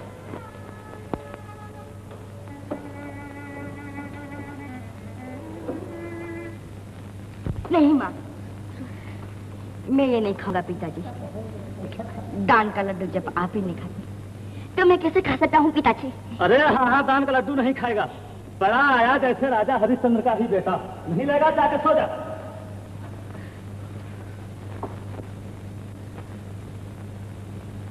सुना तारा ये बात सुनकर ही पेट भर गया। अब ताना देने में भी लोग हरिश्चंद्र का नाम लेते नाथ यदि हम लोग कोई चाकरी मजूरी कर ले। तो क्या बुरा है?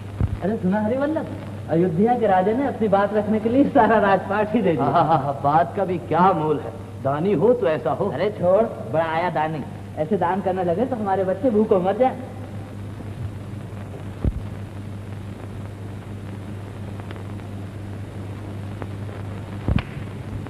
ठीक है। हमारा बच्चा भी तो भूख से तड़प रहा है। ना। कुछ नहीं कुछ नहीं।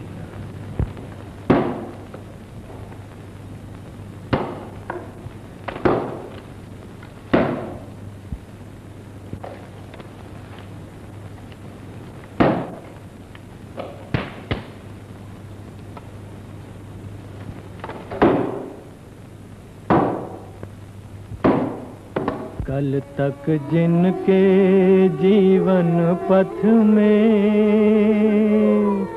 कदम कदम पर बिछते थे फूल, उन्हीं पाँव में पड़े फफोले, बहे खून चुभते हैं Thank you.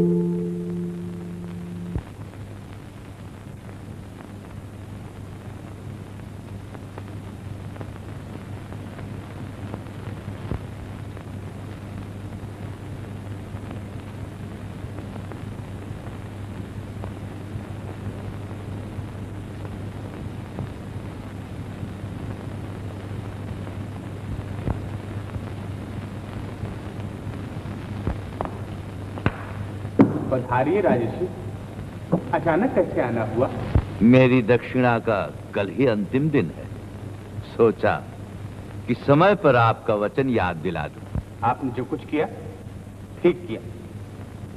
आप जब मेरी परीक्षा ही लेना चाहते हैं तो ध्यान रखिए हरिश्चंद्र आपका ऋण चुकाने से पीछे नहीं हटेगा।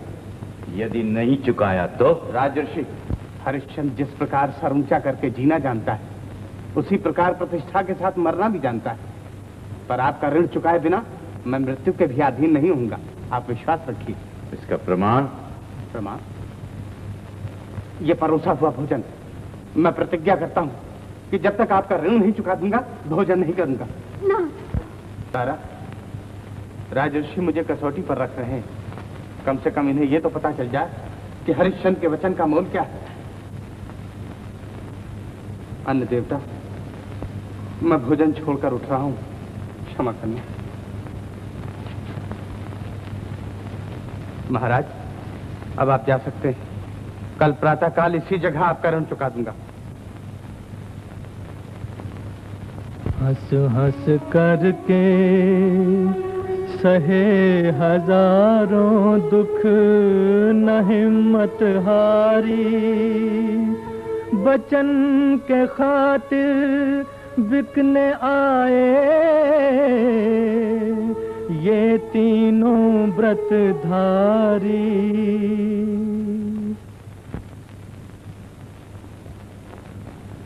तारा। ना सत्य का पालन सदा कठिन होता है। ठीक है। सत्य का पालन सदा कठिन होता है। किंतु अध्यापति राजा हरिश्चंद्र आज काशी के बाज़ार में अपनी प्रिय पत्नी को बेचने के लिए खड़ा है। इसकी कल्पना भी तुम्हें भयंकर नहीं लगती? भयंकर तो लगती है। किंतु आप ही जैसा मनुष्य ऐसा कर भी सकता। मेरी एक विनती है। कहो। पहले मुझे बिकने दीजिए। नहीं तारा पहले मुझे बिकने दो। हो सकता है मुझे एक सहस्त्र स्वर्ण मुद्रा मिल जाए और मैं पत्नी बेचने के महापातक से बच जाऊँ। इन लोगों का समय नष्ट न करो भाई नहीं तो ये सब चले जाएँगे। नहीं भाई हम इनका समय नष्ट नहीं करेंगे। नगर जनों। सुनिए।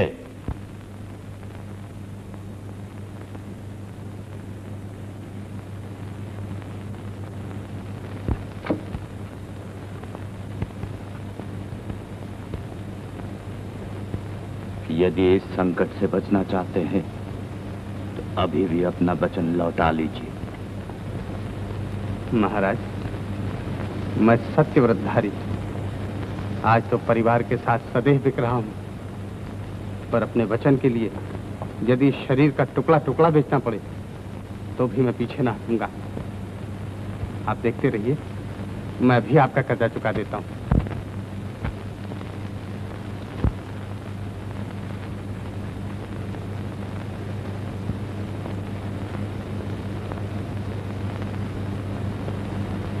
नगर जनों मैं कर्जा चुकाने के लिए सपरिवार काशी के बाज़ार में आज बिकने आया हूँ। हमारे धर्म और हमारी नीति में बाधा ना पड़े, ऐसा कोई भी काम करने को हम तैयार हैं। इसलिए जिसे भी ऐसा दास दासी चाहिए वो हमें मोल ले सकता है। बोलो नगर जनो मैं इस दासी के लिए एक सौ स्वर्ण मुद्रा देने को तैयार हूँ। एक सौ मुद्रा! बोलो! हटा। दो तो दो सौ! दो सौ मुद्रा। बोलो तीन सौ। चार सौ। चार सौ? छह सौ। नग इसी समय ऐसी सुंदर दासी कहाँ मिलेगी? घर वाली तो प्रसन्न हो जाएगी। छह सौ। इसी समय है कोई? बोलो छह सौ मुद्रा एक बार। अब कौन बोल सकता है छह सौ मुद्रा कोई बच्चों का खेल नहीं ये तो पंडित दीनानाथ ही दे सकता है। छह सौ मुद्रा दो बार। अरे दो बार क्या चार बार क्या क्या दो तीन बार? छह सौ मुद्रा तीन बार। चलो भाई हो गई बोली निकालो दाम। तो यहाँ कहाँ देर है? ये लोग तुर्तदान महाकल्याण।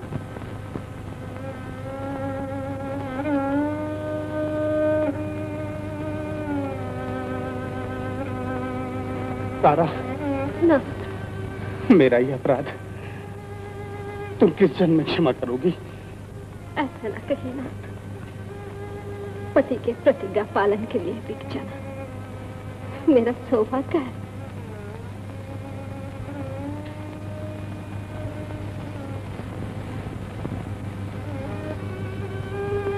रोहित बेटा मेरे तारा तुम्हें मेरा आशीर्वाद है। मेरा पुण्य और तुम्हारा सती धर्म तुम्हारी रक्षा करे। रोहित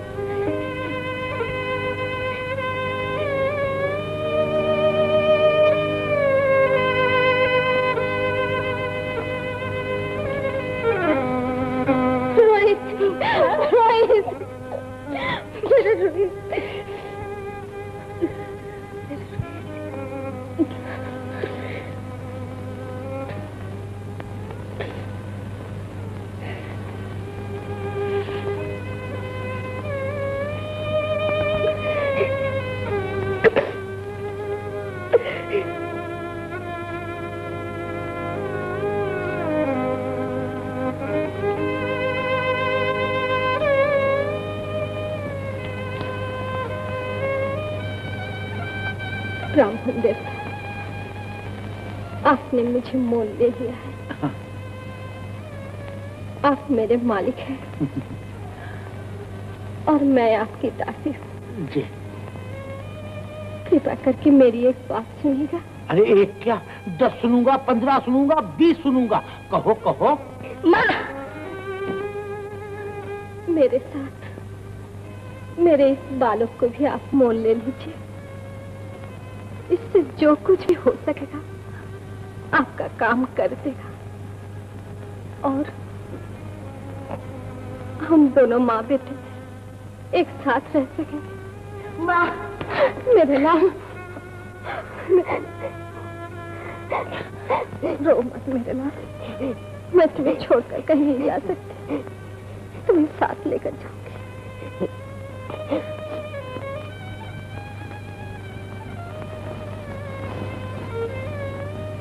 अच्छा तो बिना मोल तोल के एक सौ मुद्रा और देता हूँ ये लो, सब मिला के सात सौ मुद्रा।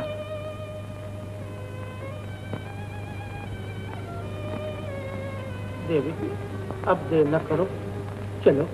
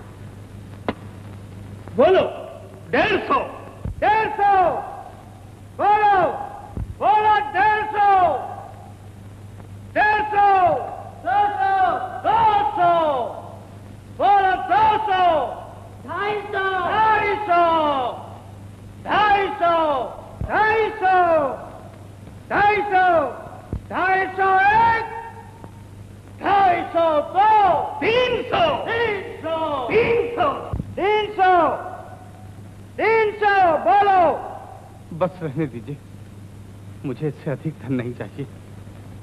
इतने से ही मेरा कर्जा पूरा हो जाएगा। तीन सौ तीन बार। तीन बार।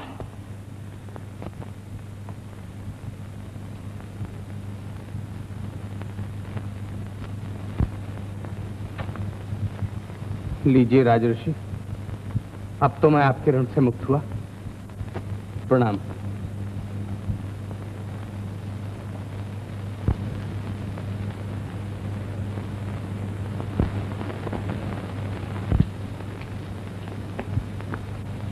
प्रणाम ब्राह्मण देवता। कौन?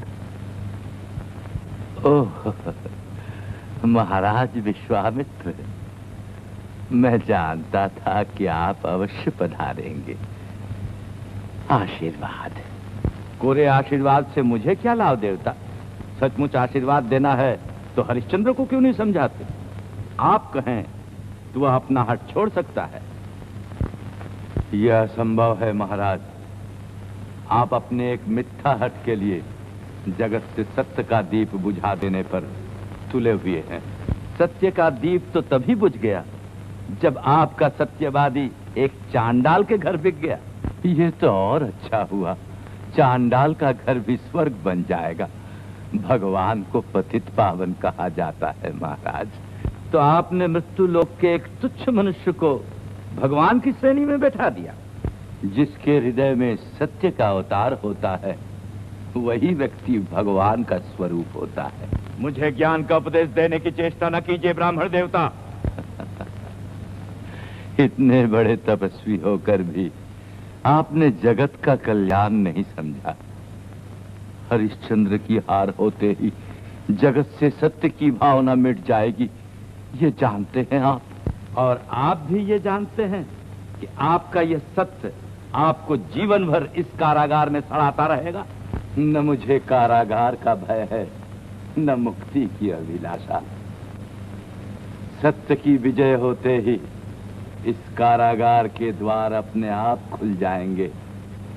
और उस समय मेरी मुक्ति कोई नहीं रोक सकेगा। ठीक है, देखता हूँ ये विजय कैसे होती है।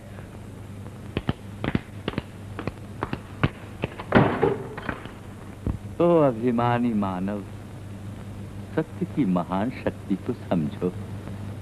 सृष्टि का आधार सत्य ही है। और ये मत भूलो कि सत्य धर्म को जीवित रखने में भगवान का हाथ रहता है।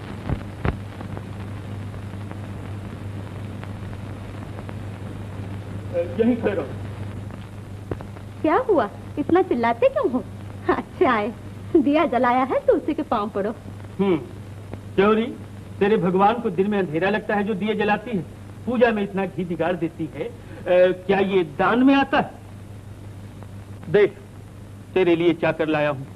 आज से पानी भरेगा कपड़ा धोएगा स्मशान घाट पर पहरा देगा सभी काम ये करेगा हम्म? अच्छा?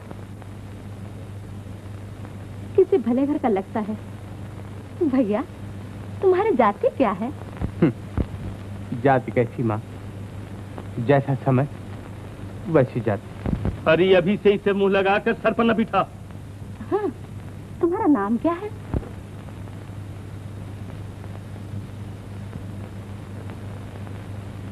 हरिया। हरिया? वाह नाम तो अच्छा है। हम इसे हरि कह के बुलाएँगे। जाने अनजाने मुँह में भगवान का नाम तो आएगा। तो फिर झूठ मूठ का मान देने लगी। हरी चाकर ढोले और नारी ये सब ताड़न के अधिकारी। हम्म। और देख इससे पानी भरवा लेना मैं अभी आता हूँ।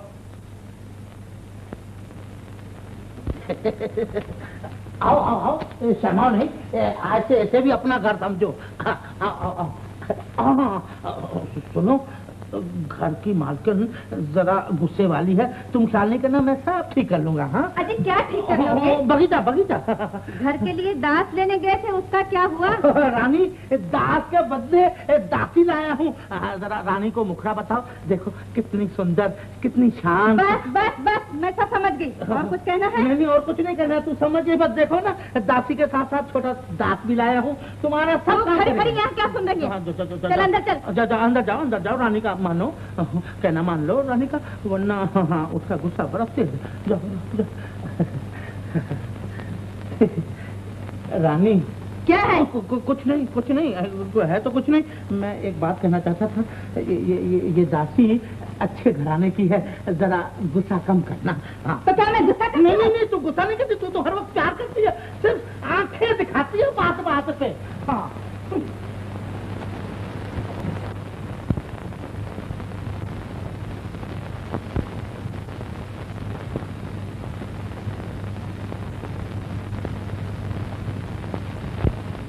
लिखी बाँच ना सका आज तक।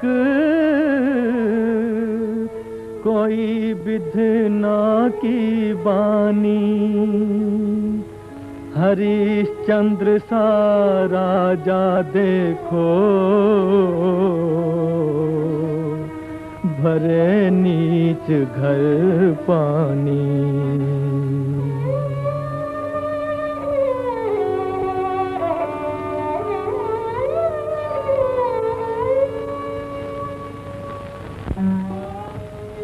जो थी महारानी महलों की, वो आज बनी है दासी। मांज रही है बर्तन, देखो, मुख पर नहीं उदासी। है विधना लीला का तेरी। कोई नहीं पा सकता पार। आज चाकरी करता पर घर। ये नन्ना सा राजकुमार। नारायण नारायण। नमस्कार महामुनि पधारिए। आज यहाँ कैसे? कल्याण महादेवी सोचा इधर भी होता चलो। पता तो चले कि मनुष्य जाति के दुख और अपमान का प्रभाव आप लोगों पर भी कुछ होता है या नहीं?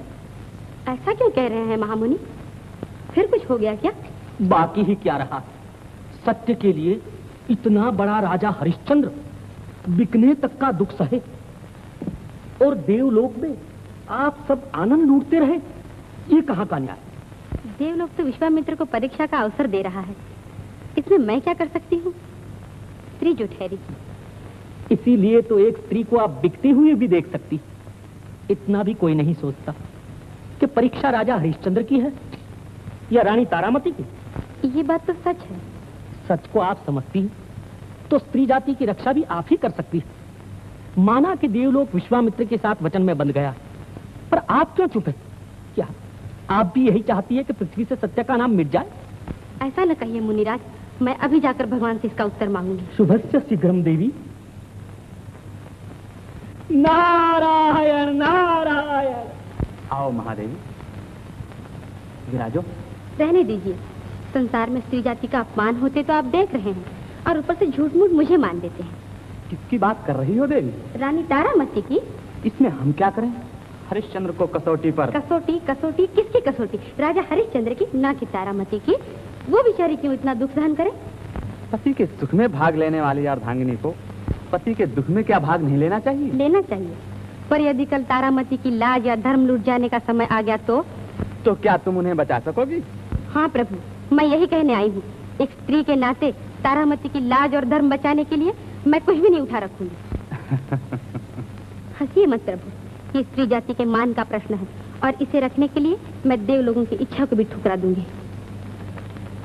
वाह जब तक ये भावना और स्वाभिमान बना रहेगा तब तक स्त्री जाति के हित की बात भी कोई नहीं सोच सकता।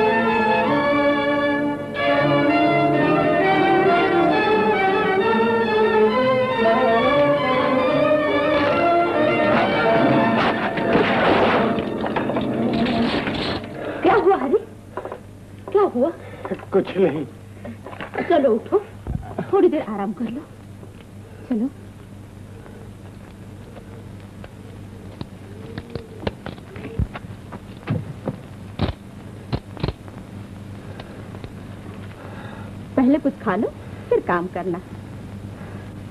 मालिक की आज्ञा है पहले कोठी में पानी भर दो। हाँ तो मना कौन करता है? पानी भी भर लेना पेट में अन्न होगा तो काम भी कर सकोगे। चलो कुछ खा लो।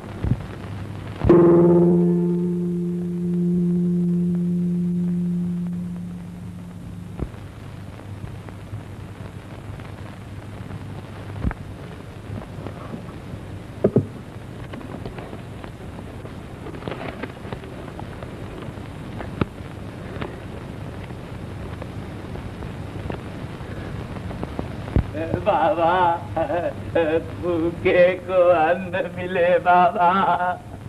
चार दिन से भूखा हूँ कोई दाता हो तो रोटी मिल जाए। नई बात है चांडाल के द्वार पर भिक्षा मांगते आज ही देखा। भिखारी को भिक्षा देना सबका धर्म है माँ।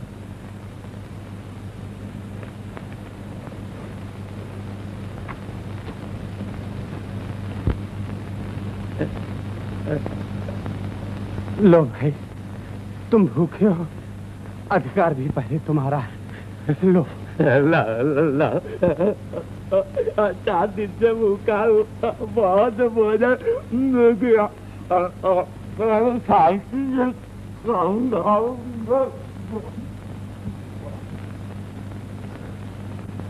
याचक को अन्न मिले और वो आशीर्वाद दिए बिना ही चला जाए। ये भी नई बात है। धन्य हो प्रभु। कैसा हृदय है। अपने मुँह का ग्रास दूसरे को देना ये तो महादानी राजा हरिश्चंद्र के राज त्याग दे देने जैसा है। भगवान उनका भला करे।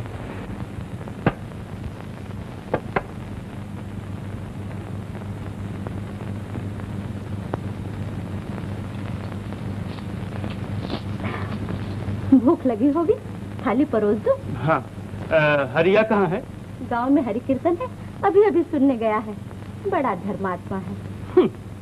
बड़ा धर्मात्मा।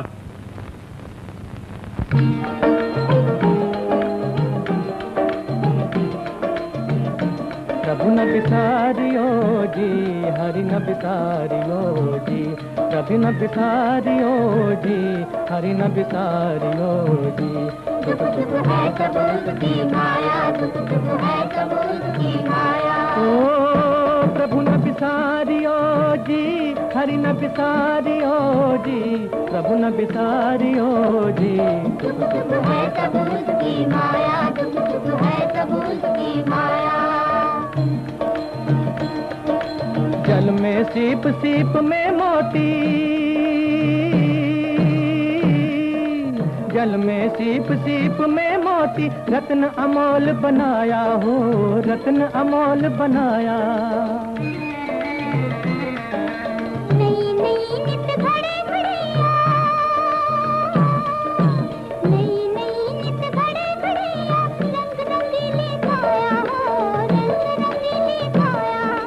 बड़े बड़े योगी मुनियों ने पार न उसका पाया प्रभु न बिसारियो जी हरि न बिसारियो जी दुख सुख है सब उसकी माया दुख सुख है सब उसकी माया।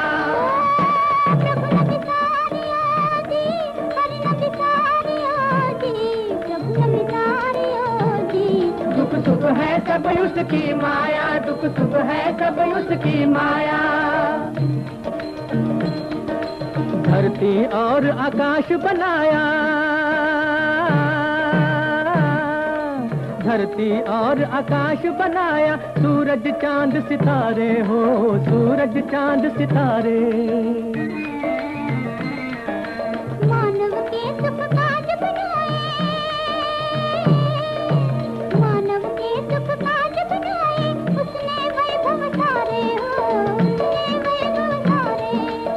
कदम कदम पर रंग बदलते कहीं धूप कहीं छाया। प्रभु न बिसारियो जी हरि न बिसारियो जी।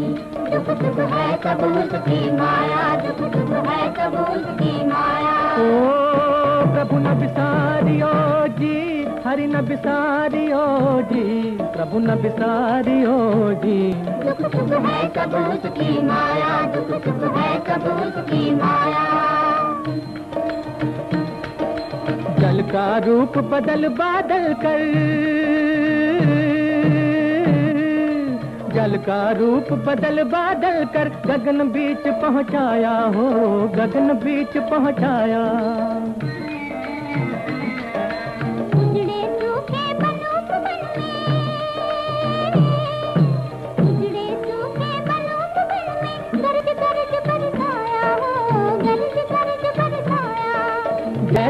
जिसकी करनी उसने वैसा ही फल पाया। प्रभु न बिसारियो जी हरि न बिसारियो जी। सुख सुख है सब उसकी माया सुख सुख है सब उसकी माया।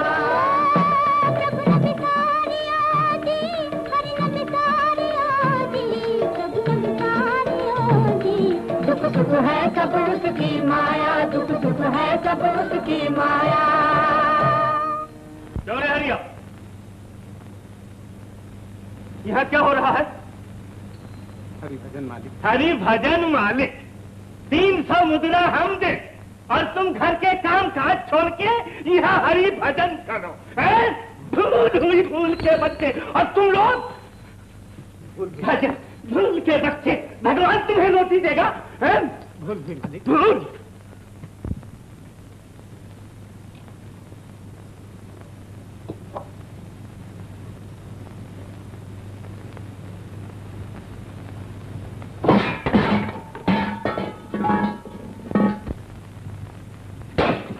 आज हरिया ने पानी क्यों नहीं भरा? पानी भरते भरते तो बेचारा थक गया। पर न जाने क्यों? कुछ भर ही न पाई। आज ही कोठी में छेद हो गई थी या कोई आकर पी गया? ये क्यों नहीं बताती कि तुमने मना कर दिया था? हम्म? जान मार दूँगा।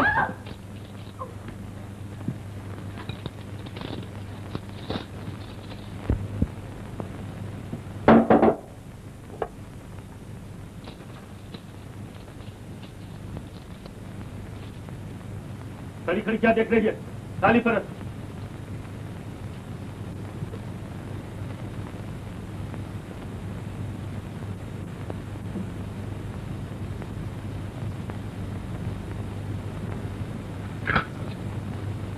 ये सब क्या है री? न पूरी रोटी न भाजी अभी तक करके नहीं थी। हरिया को पानी भरते भरते मूर्छा आ गई। बेचारा गिर पड़ा। इसलिए मैं उसे संभालने लग गई। हरिया को पानी भरते भरते मूर्छा और तू उसे संभाल नहीं। कुल्ठा गलत नहीं तू समझती क्या मैं सब तेरा चाल चलन समझता हूँ। हम्म? क्या कर क्या कहीं मेरी कोई गिनती नहीं करती। समझती है क्या? मैं तेरा जान मारता दूँगा क्यों नहीं हट गया सामने से वरना तेरी भी हड्डी पर फिर तोड़ दूँगा। कुल्ठा मैं तुम्हें ज़िंदा जला दूँगा। सरिया निकाल सरिया की बस्ती। चल।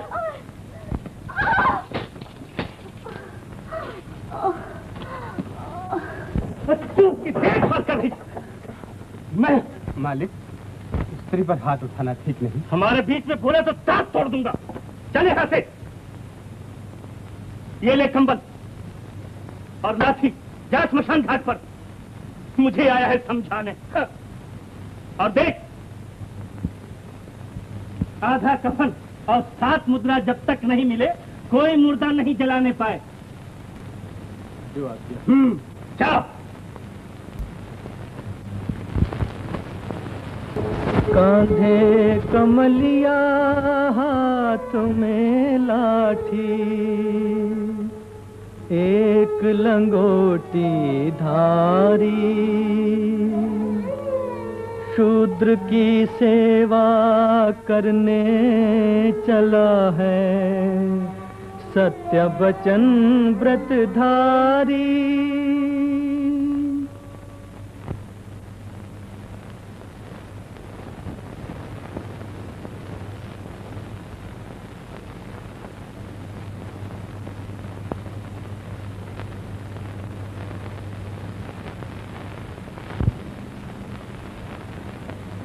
दासी दासी। जी मालकिन मैं मंदिर जा रही हूँ। मेरे आने तक ये सब अनाज पीस कर रखना। अच्छा जी। हाँ।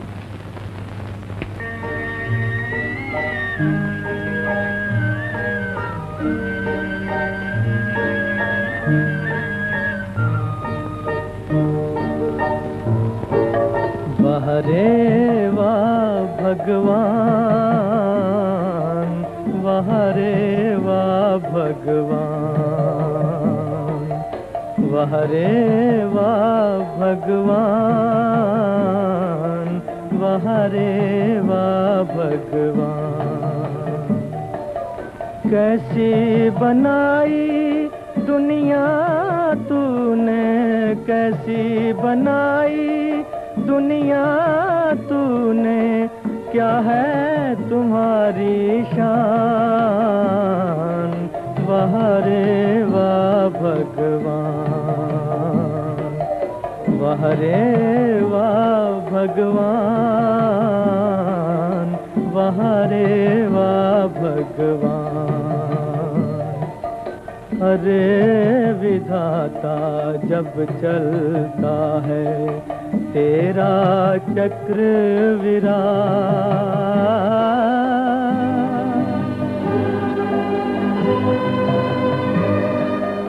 राजा बने पल भर में, रंग बने सम्राट। रंग बने सम्राट। बलवानों को निर्बल करता, बलवानों को निर्बल करता, निर्धन को धनवान। वाह रे वाह भगवान। वाह रे वाह भगवान। वाह रे वाह भगवान।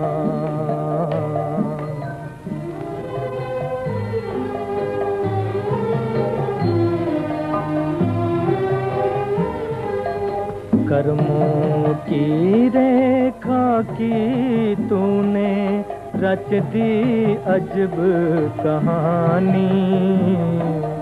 चक्की पीस रही है, देखो महलों की महारानी।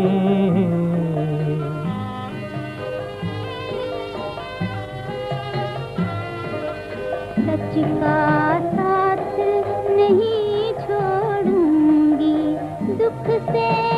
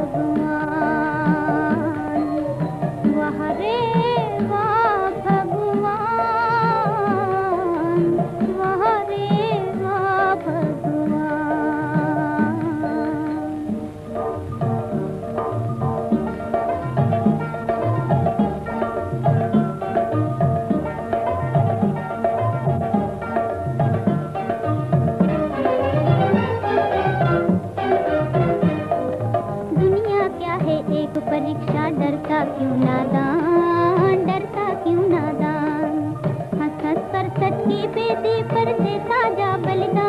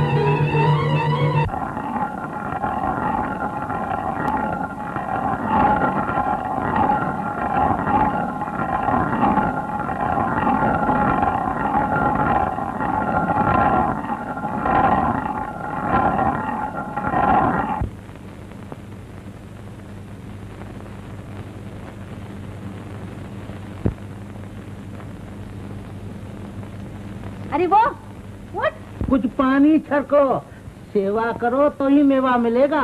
तुम चाय चाय मत करो जी। मैं सब समझती हूँ। ये ढोंग धतुरा और जादू मेरे सामने नहीं चलेगा। चल उठ। अरे उठ। तू ऐसे नहीं उठेगी।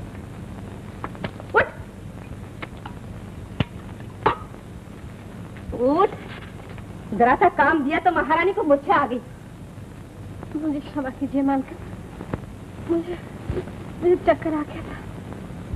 मैं अभी आपके साथ काम पूरा कर देती हूँ। चल, उठ। उठ जल्दी।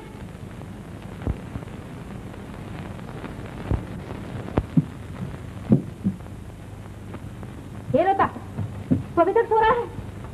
तेरा बुखार नहीं उतरा अभी? ठहर जा।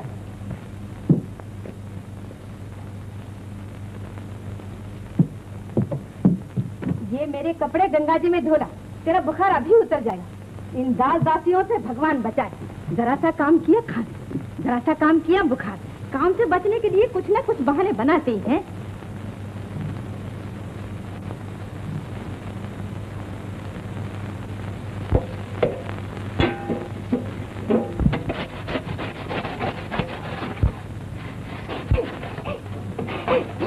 माता जी माता जी मेरे सर में बहुत दर्द हो रहा है अरे तुझे तो बहुत ज़ोर का बुखार आ रहा है चल तुझे सुला दूँ आ,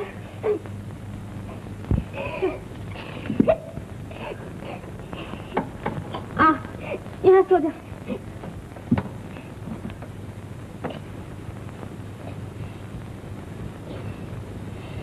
बहुत दुखता है ना? बहुत दुखता है हाय भगवान ये क्या हो गया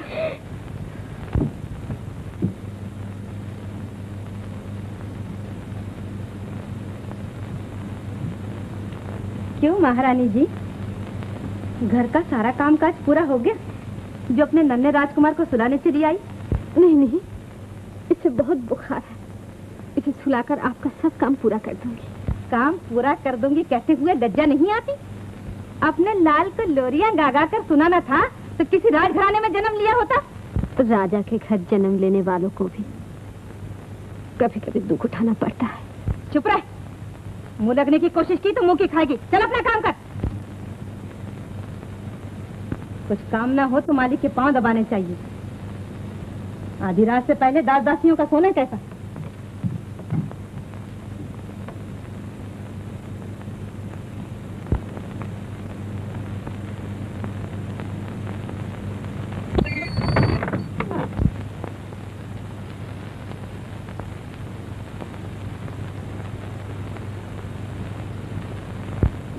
कौन है? मैं तारा। आ, ता, ता, ता, तारा तारा ये इस वक्त रात को यहाँ मेरे कमरे में क्यों क्यों? मालकिन की आज्ञा है कि कुछ काम ना हो तो मालिक के पाँव दबाना। सोना नहीं किंतु रानी ने क्या कहा कि मेरे पाँव दबाना? मैं, मैं, मैं सो रहा हूँ या जाग रहा हूँ? मेरी कुछ समझ में नहीं आता कुछ समझ में नहीं आता। मालकन ने ठीक कहा है। कभी कभी मेरे सर से पाँव तक दर्द होता है। आ, क्या हुआ? दर्द हो रहा है? दर्द क्या? बहुत दर्द बहुत दर्द।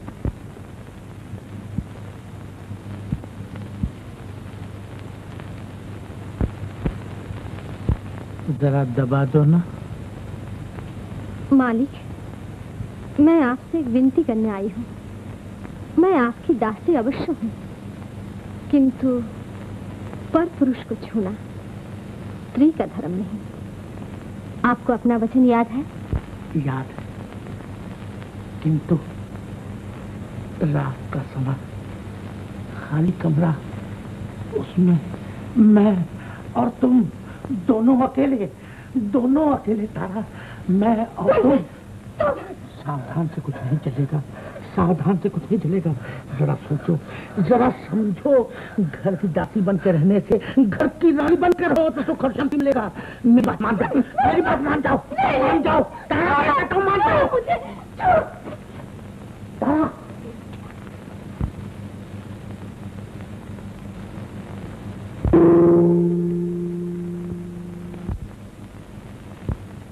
देखा आपने ब्राह्मण देवता?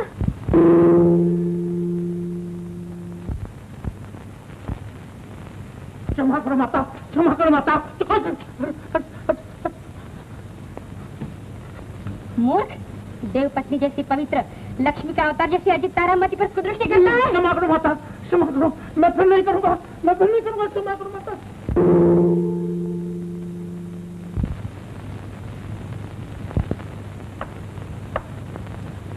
ये क्या है? ये क्या पाखंड है?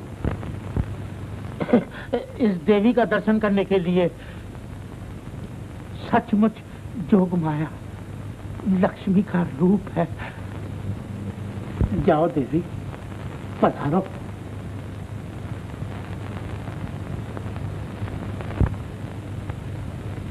देखो, आज से ये घर का कोई काम नहीं करेगी।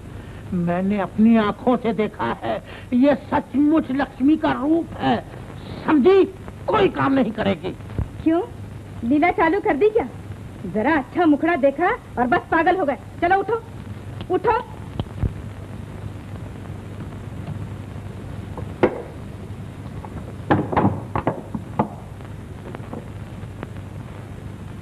सुबह तेरी खबर लूँगी।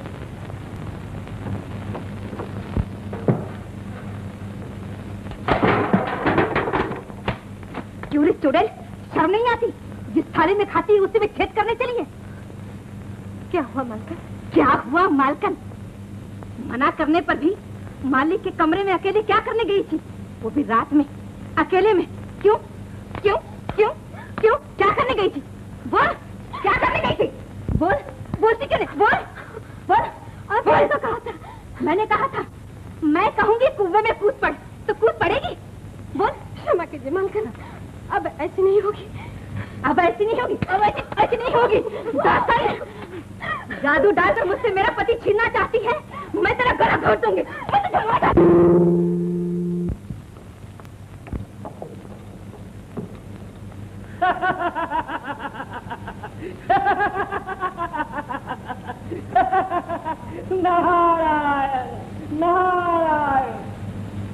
नमस्कार ऋषिराज। नमस्कार महामुनि। आज बहुत खुलकर हंस रहे हैं। हंसो नहीं तो क्या करो? दूसरी सृष्टि रचने वाले विश्वामित्र को एक मनुष्य पर विजय पाने में इतनी देर? हरिश्चंद्र को सत्य से डिगाने के लिए आप आकाश पाताल एक करने लगे हैं ऋषिराज। फिर भी अपने धर्म पद से वो तिल भर नहीं हटता। हँसते हँसते राजपाट छोड़ दिया अपना परिवार बेच डाला। स्वयं एक चांडाल के घर सेवक बना है।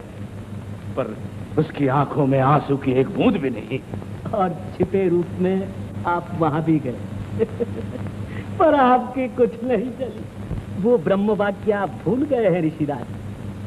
सत्य धर्म पालन का केवल एक ही वर्ष, हज़ार वर्ष की तपस्या से कहीं बढ़कर होता। सती इस पर आती। हरिश्चंद्र को सत्य से डिगाने का आपने प्रण तो ले लिया। परंतु उस प्रण को निभाने का मार्ग नहीं ढूंढा। क्या कहा महामुनि? प्रण को निभाने का मार्ग। अर्थात हरिश्चंद्र को सत्य से जिगाने का मार्ग। आप ही बताइए ना।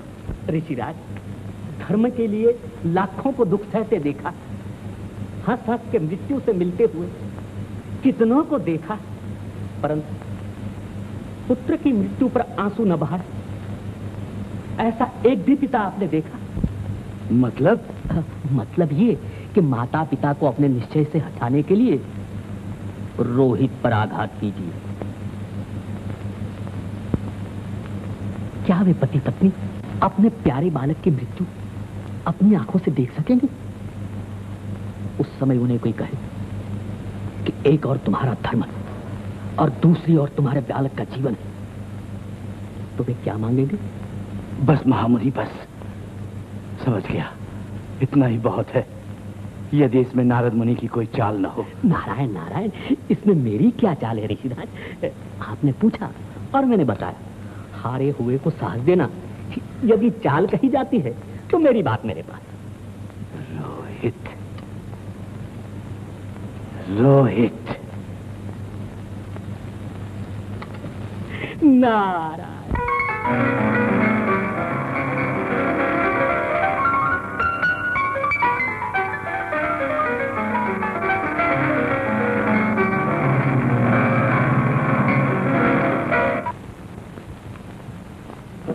ऋषिराज आज आपने पाताल लोक पवित्र किया। नागराज बासुकी मैं तुम्हारी सहायता लेने आया हूँ। आप जैसे शक्तिशाली को मेरी सहायता की क्या आवश्यकता पड़ी? मैंने प्रतिज्ञा की है नागराज हरिश्चंद्र को अपने सत्य धर्म से विचलित करके संसार में तप की महत्ता स्थापित करूँ। अनेक उपाय करने पर भी वो अपने धर्म से नहीं टलता। मैं चाहता हूँ कि हरिश्चंद्र अपने निश्चय से डिग जाए और इसके लिए तुम जाकर उसके पुत्र को डसो। ऋषिराज जब तक क्रोध का कोई कारण न हो हमारे सर्प जाति किसी को नहीं डस सकती। बासुकी देवराज इंद्र की आज्ञा है कि सभी देवगण मेरी सहायता करें। ऋषिराज हमारे मुँह में विष अवश्य है हृदय में नहीं। मैं देवराज का श्राप सहन कर सकता हूँ किंतु किसी निर्दोष को डस नहीं। मेरी आज्ञा का उल्लंघन न करो बासुकी। देवराज के श्राप को देर लगेगी।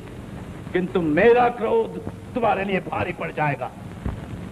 मैं उत्तर चाहता हूँ नागराज यदि मेरी आज्ञा का पालन नहीं हुआ तो बासुकी इस पातालपुरी को जलाकर मैं भस्म कर दूँगा।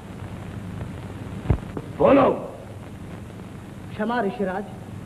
पाताल लोक की रक्षा के लिए मैं उस निर्दोष बालक का प्राण लूँगा।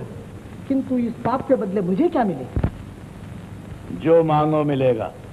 वचन दीजिए कि रोहित की काया जलकर भस्म होने से पहले यदि हरिश्चंद्र और उसके सत्य धर्म का पतन न हुआ तो आपको अपने तप का घमंड छोड़कर हार माननी होगी। और फिर से रोहित को जीवित करना पड़ेगा। स्वीकार है? हाँ स्वीकार है। हरिश्चंद्र को डिगाने का यही मेरा अंतिम प्रयत्न होगा। तो मैं अपना वचन पूरा करूँगा। आप निश्चिंत होकर जा सकते हैं।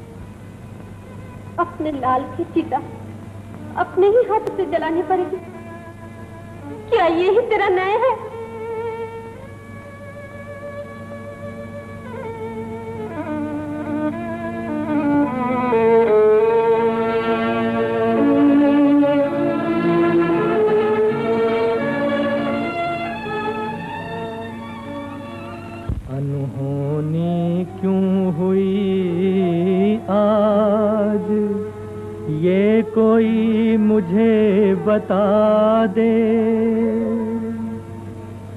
धरती फट जा आज अरे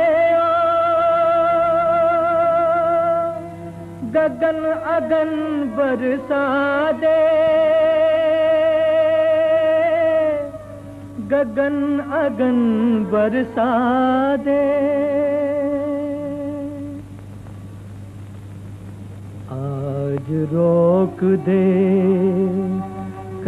को अपने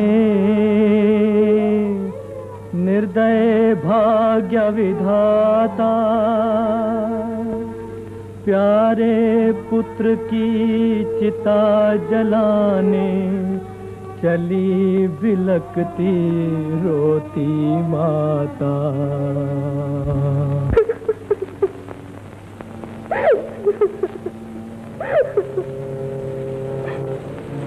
बेटा तू मुझे अकेले छोड़ दे। मैं तुझे दांत देकर कैसे जी सकूँ? मेरे मेरे।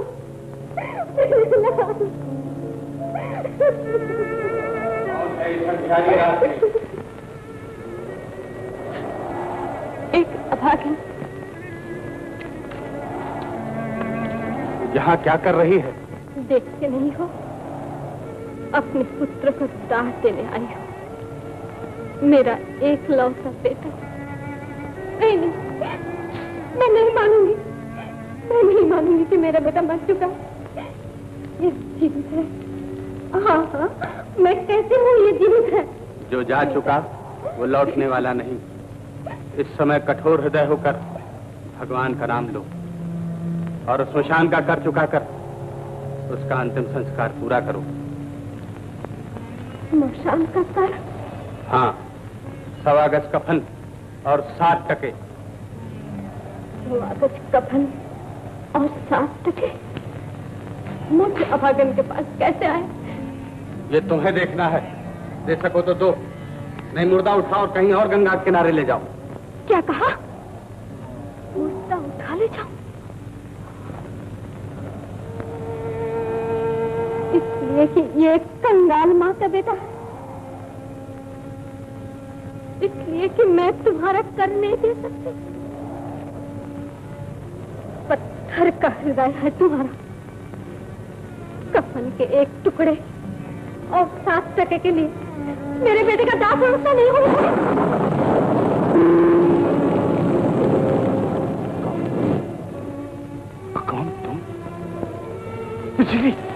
बिजली एक बार फिर चलो। एक बार फिर से चला कर दे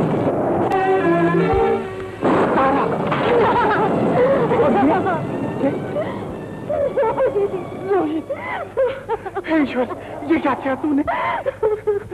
तारा धीरज रखो तारा जीवन के अच्छे गंभीर समय में साथ रखना चाहिए।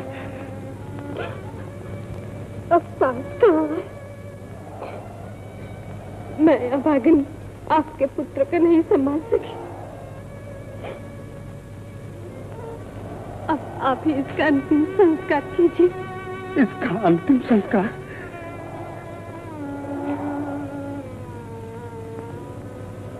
इसके अंतिम संस्कार के लिए तुम्हें यहाँ का कर देना ही होगा। परंतु यह पुत्र है। ठीक है।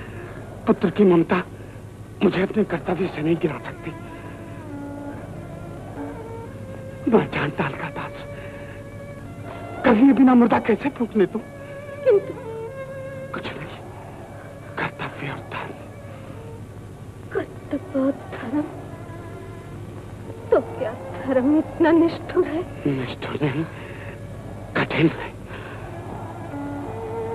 तारा तुम सोचती हो मैं कठोर हो गया हूँ। मैं कठोर नहीं हूँ, तारा। तुम्हारी ये दुर्दशा और अपने पुत्र का मृतक देखकर मेरा हृदय टुकड़े टुकड़े हो रहा है। पर मैं लाचार हूँ। प्रेम, भय या पराधीनता जैसी कोई भी वस्तु मुझे अपने कर्तव्य से नहीं हटा सकती। जिस धर्म और व्रत को मैंने इतने दुख उठाने पर भी नहीं छोड़ा उसे तुम कफन के एक टुकड़े के लिए छुड़वाना चाहती हो? नहीं नाथ मैं आपका धर्म छुड़वाना नहीं चाहती हूँ। पुत्र के दाह संस्कार के आगे कफन का एक टुकड़ा ही आपका धर्म बचाता है। तो ये लीजिए।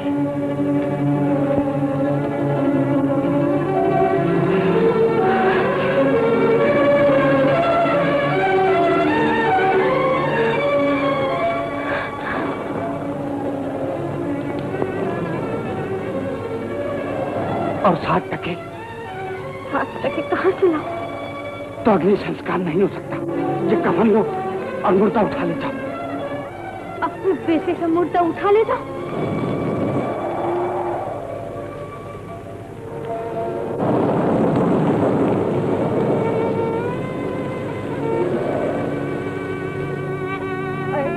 राजकुमार का मुर्दा मशान को भी भारी पड़ा।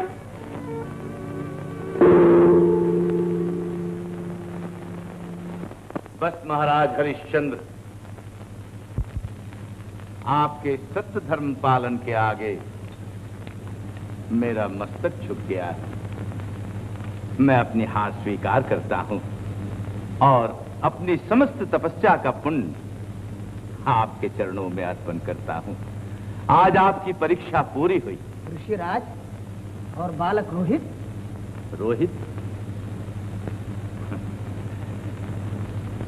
इसको जीवित दान देना मेरा वचन है नारायण नारायण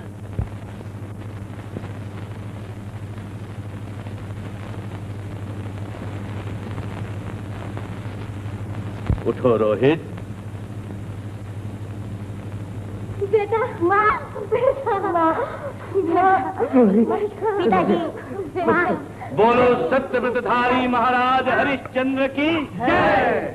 धन्य हो धन्य हो भगवान। तुमने हमारी टेक रख ली। धन्य हो धन्य हो धन्य हो भगवान।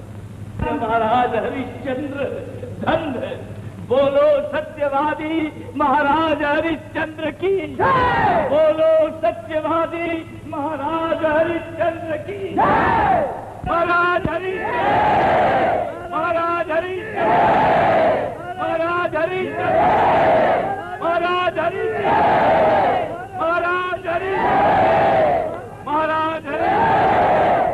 युगो युगो तक गूंजेगी त्रिभुवन में तेरी जय जयकार। मृत्यु लोक के मानव से भी मानी थी देवों ने हार। कभी न भूलेंगे नर नारी, प्रलय हो चाहे बारंबार। हरिचंद्र तेरे सत की महिमा युग युग गाएगा संसार।